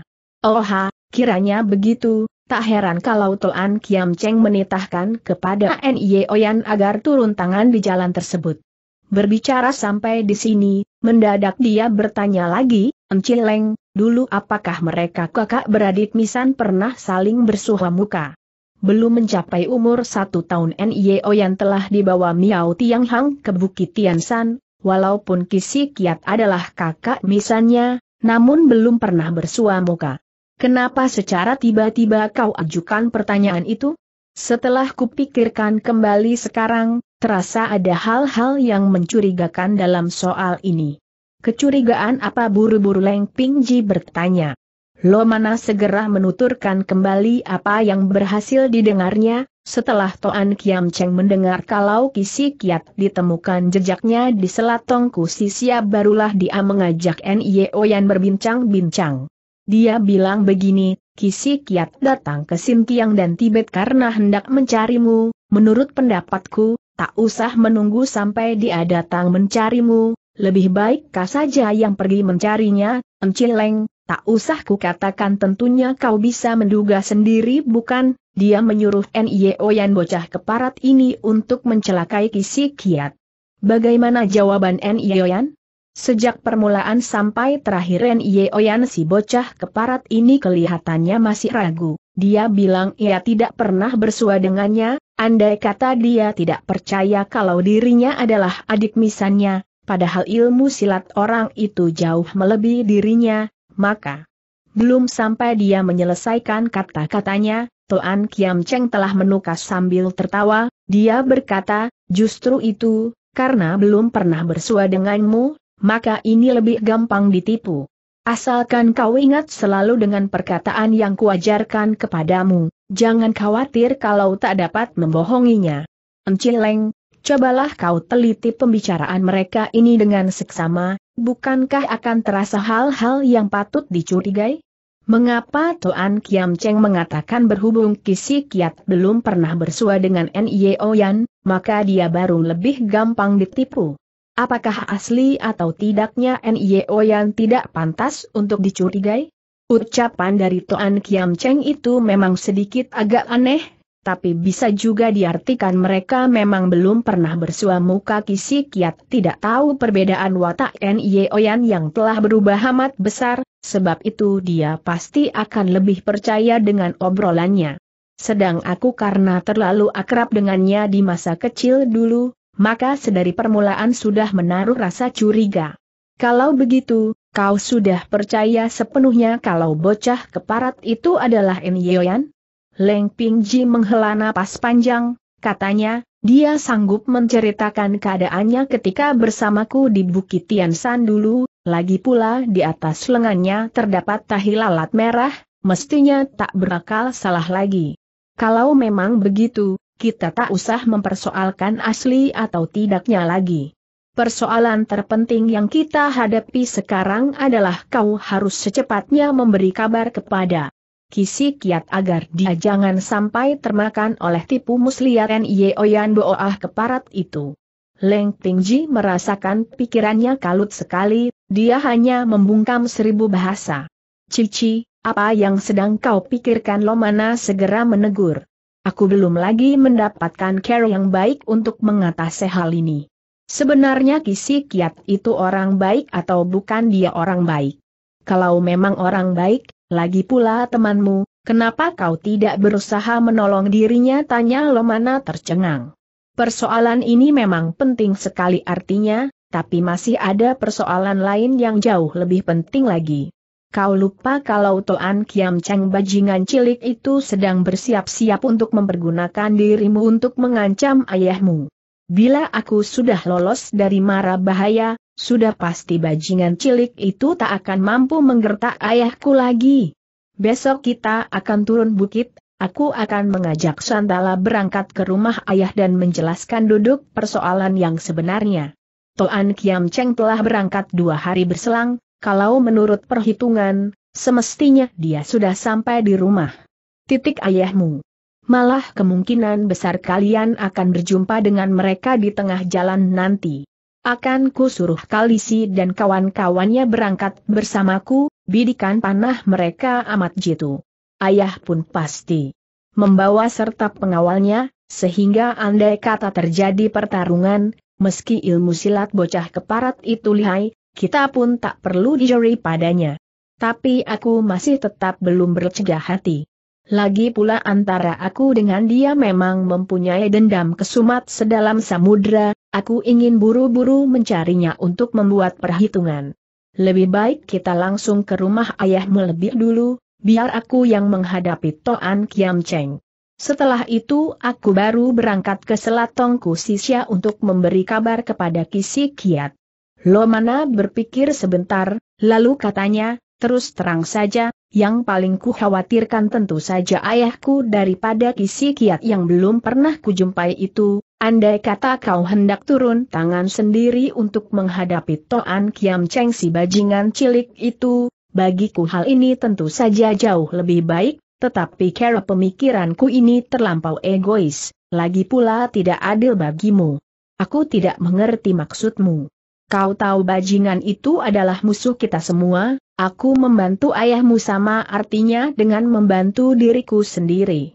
Sekalipun kau tidak menginginkan aku berbuat demikian, aku tetap melakukannya, apakah artinya mementingkan diri sendiri atau tidak?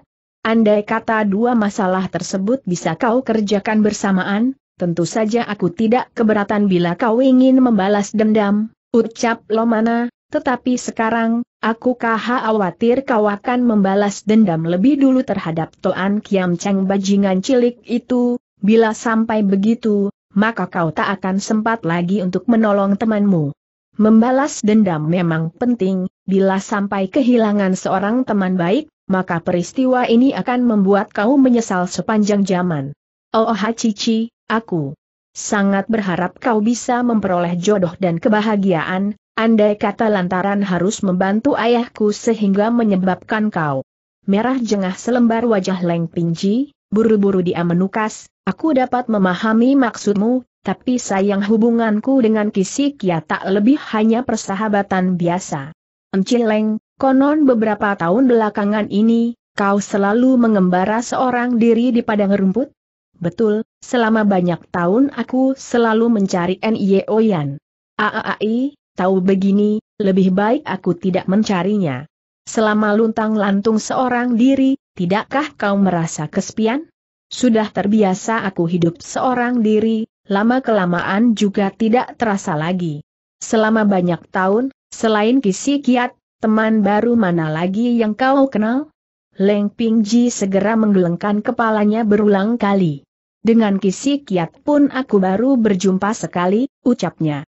Lomana segera mengalihkan sorot matanya dan menatap gadis itu lekat-lekat, kemudian dengan maksud lebih mendalam ia berkata lagi, kehilangan seorang teman amat mudah, tapi memperoleh seorang teman amat sulit, kalau toh dia merupakan satu-satunya teman baru yang kau kenal, maka lebih-lebih jangan sampai kau kehilangan dirinya. Di balik perkataan masih ada perkataan, akan tetapi ucapan itu diutarakan dengan tulus hati.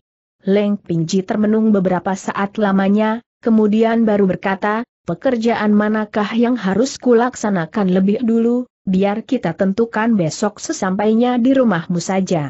Persoalan paling penting yang kita hadapi sekarang adalah kau tak boleh memikirkan persoalan apa pun, tidur yang nyenyak, pelihara tenaga dan kesegaran badan, dengan demikian besok kita baru punya tenaga untuk turun gunung. Dia lantas mengeluarkan ransum kering serta daging yang dibawanya untuk dimakan bersama Lomana, setelah itu dengan mempergunakan simhoat tenaga dalam partainya membantu perempuan itu untuk melancarkan peredaran darahnya dan menggiring hawa mumi kembali ke pusar. Lomana segera merasakan tubuhnya segar dan nyaman, Tak lama kemudian ia sudah tertidur nyenyak. Jika Lomana bisa tidur dengan tenang, lain halnya dengan Leng Pingji, dia merasa gundah sehingga metu tak mau dipejamkan. Bayangan kisi kiat muncul kembali di depan mata. Betul mereka baru berjumpa sekali, namun bayangannya seakan-akan sudah melekat dalam hatinya. Teringat kembali sesaat sebelum mereka berpisah, teringat bait syair yang dibacakan olehnya ketika itu, serta sorot metu kisi kiat yang menatapnya dengan berat hati. Kini dia merasa seakan-akan sorot metu kisi kiat sedang menatap wajahnya, itulah sorot mata penuh pengharapan, berharap bisa bersua kembali dengannya. Tapi, mungkinkah baginya untuk mengesampingkan semua persoalan di sini? Tidak mempedulikan keselamatan Lohai, kepala Sukwana. Makin dipikir harinya makin kalut, pikirannya makin kacau, semalam suntuk ia tak dapat tertidur barang sekejap pun, akhirnya Fajar pun menyingsing, Lomana pun telah mendusin. Setelah beristirahat semalam penuh, kesegaran Lomana telah pulih kembali, dia pun mulai ribut untuk cepat-cepat turun gunung. Separuh menggantungkan diri pada semangat serta kekuatan sendiri, separuh yang lain tergantung pada petunjuk dari Leng Pingji, Walaupun Bukit Soat Hang amat terjal, namun Lomana dapat mengikuti di belakangnya dengan mantap dan cepat. Setelah melewati jalan gunung yang terjal dan berbahaya, baru saja tiba di kaki bukit dekat mulut lembah, mendadak secara lamat-lamat mereka mendengar suara dentingan nyaring. Leng Pingji segera memasang telinga dan memperhatikannya sebentar, kemudian dengan perasaan tercengang pikirnya, heran, di sini toh bukan kota iblis dengan hembusan angin atau suara sungai es yang mengalir dalam batu karang, lantas suara apakah yang terdengar? Baru saja dia hendak bertanya kepada Lomana, perempuan itu sudah keburu berkata lebih dulu, Hei, rupanya ada orang mendaki gunung. Siapa yang menghajar Toan Kiam Cheng? Waktu itu, Leng Pingji berada di tempat yang tinggi, dengan cepat dia melongok ke bawah, betul juga, Lamat-lamat ia menyaksikan ada beberapa titik hitam sedang bergerak di atas padang rumput, titik hitam itu makin lama makin membesar. Mengetahui kalau perkataan Lomana tak salah, ia menjadi geli sendiri, pikirnya, aku hanya berpikir tentang musuh, tak disangka orang sendiri yang telah datang memberi bantuan. Dengan cepat dia menghimpun tenaga, lalu mengirim suaranya ke bawah sana, siapa yang berada di bawah sana? Sementara menegur, kakinya sama sekali tidak berhenti, sambil menuntun Lomana, dengan cepat mereka lari turun ke bawah. Agaknya orang itu merasa terkejut bercampur girang, dengan mengerahkan segenap tenaga yang dimilikinya dia berteriak, aku adalah Kalisi. Leng liapkah kau? Apakah koko, sebutan nona untuk orang bangsa Boan, kami telah ditemukan. Aku dan Encileng segera turun ke bawah, Jawab Lomana kegirangan, kalian tak usah naik. Ketika mereka lari ke bawah bukit sana, pemandangan di bawah terlihat makin jelas. Tampak Kalisi disertai beberapa orang lelaki lain, dengan tali mengikat pinggang sedang bergerak naik ke atas. Kalisi yang berada di paling depan dengan tangan sebelah memegang palu besi, tangan lain membawa paku panjang sedang memaku dinding tebing yang curam itu. Di kaki bukit tampak pula bayangan manusia yang berjumlah belasan orang, agaknya mereka pun sedang bersiap-siap untuk naik ke atas gunung. Perlu diketahui, ilmu meringankan tubuh yang mereka miliki tentu saja tak bisa dibandingkan dengan Leng Pingji, bila ingin mendaki bukit karang yang terjal semacam itu maka hanya care ini saja yang bisa mereka pergunakan. Pada mulanya Leng Pingji tidak menyangka akan mereka, dia hanya berpikir, seandainya yang datang adalah orang, maka hanya gerombolan dari Toan Kiam Cheng saja yang bisa muncul di Bukit Soat Hang tersebut, untuk mendaki bukit semacam ini, tentu saja gerombolan tersebut tak perlu membuang banyak tenaga seperti ini. Oleh sebab itu, semenjak permulaan ia tak menduga kalau suara dentingan itu adalah suara orang yang sedang mendaki bukit. Tatkala mereka berada di bawah kaki bukit, kawanan pemuda itu segera bersorak-sorai dengan riang gembira, serentak mereka menyerbu maju dan mengerubunginya. Kalisah encinya Kalisi juga berada di antara kelompok manusia itu, dialah orang pertama yang menghampiri Lomana. Enci Kalisah, kata Lomana kemudian sambil tertawa, dari mana kalian bisa tahu kalau aku berada di sini titik. Santo aku yang menduganya, Encilo mana, tak usah banyak bicara lagi, cepatlah pulang ke rumah, ayahmu sedang menanti kau di rumah. Dia sendiri pun merasa girang setengah mati sehingga tak sempat bertanya bagaimana Carolomana meloloskan diri dari ancaman mara bahaya. Tampak Lomana amat terkejut, buru-buru tanyanya, apa? Ayahku juga telah datang? Sekarang, dia-dia berada di mana?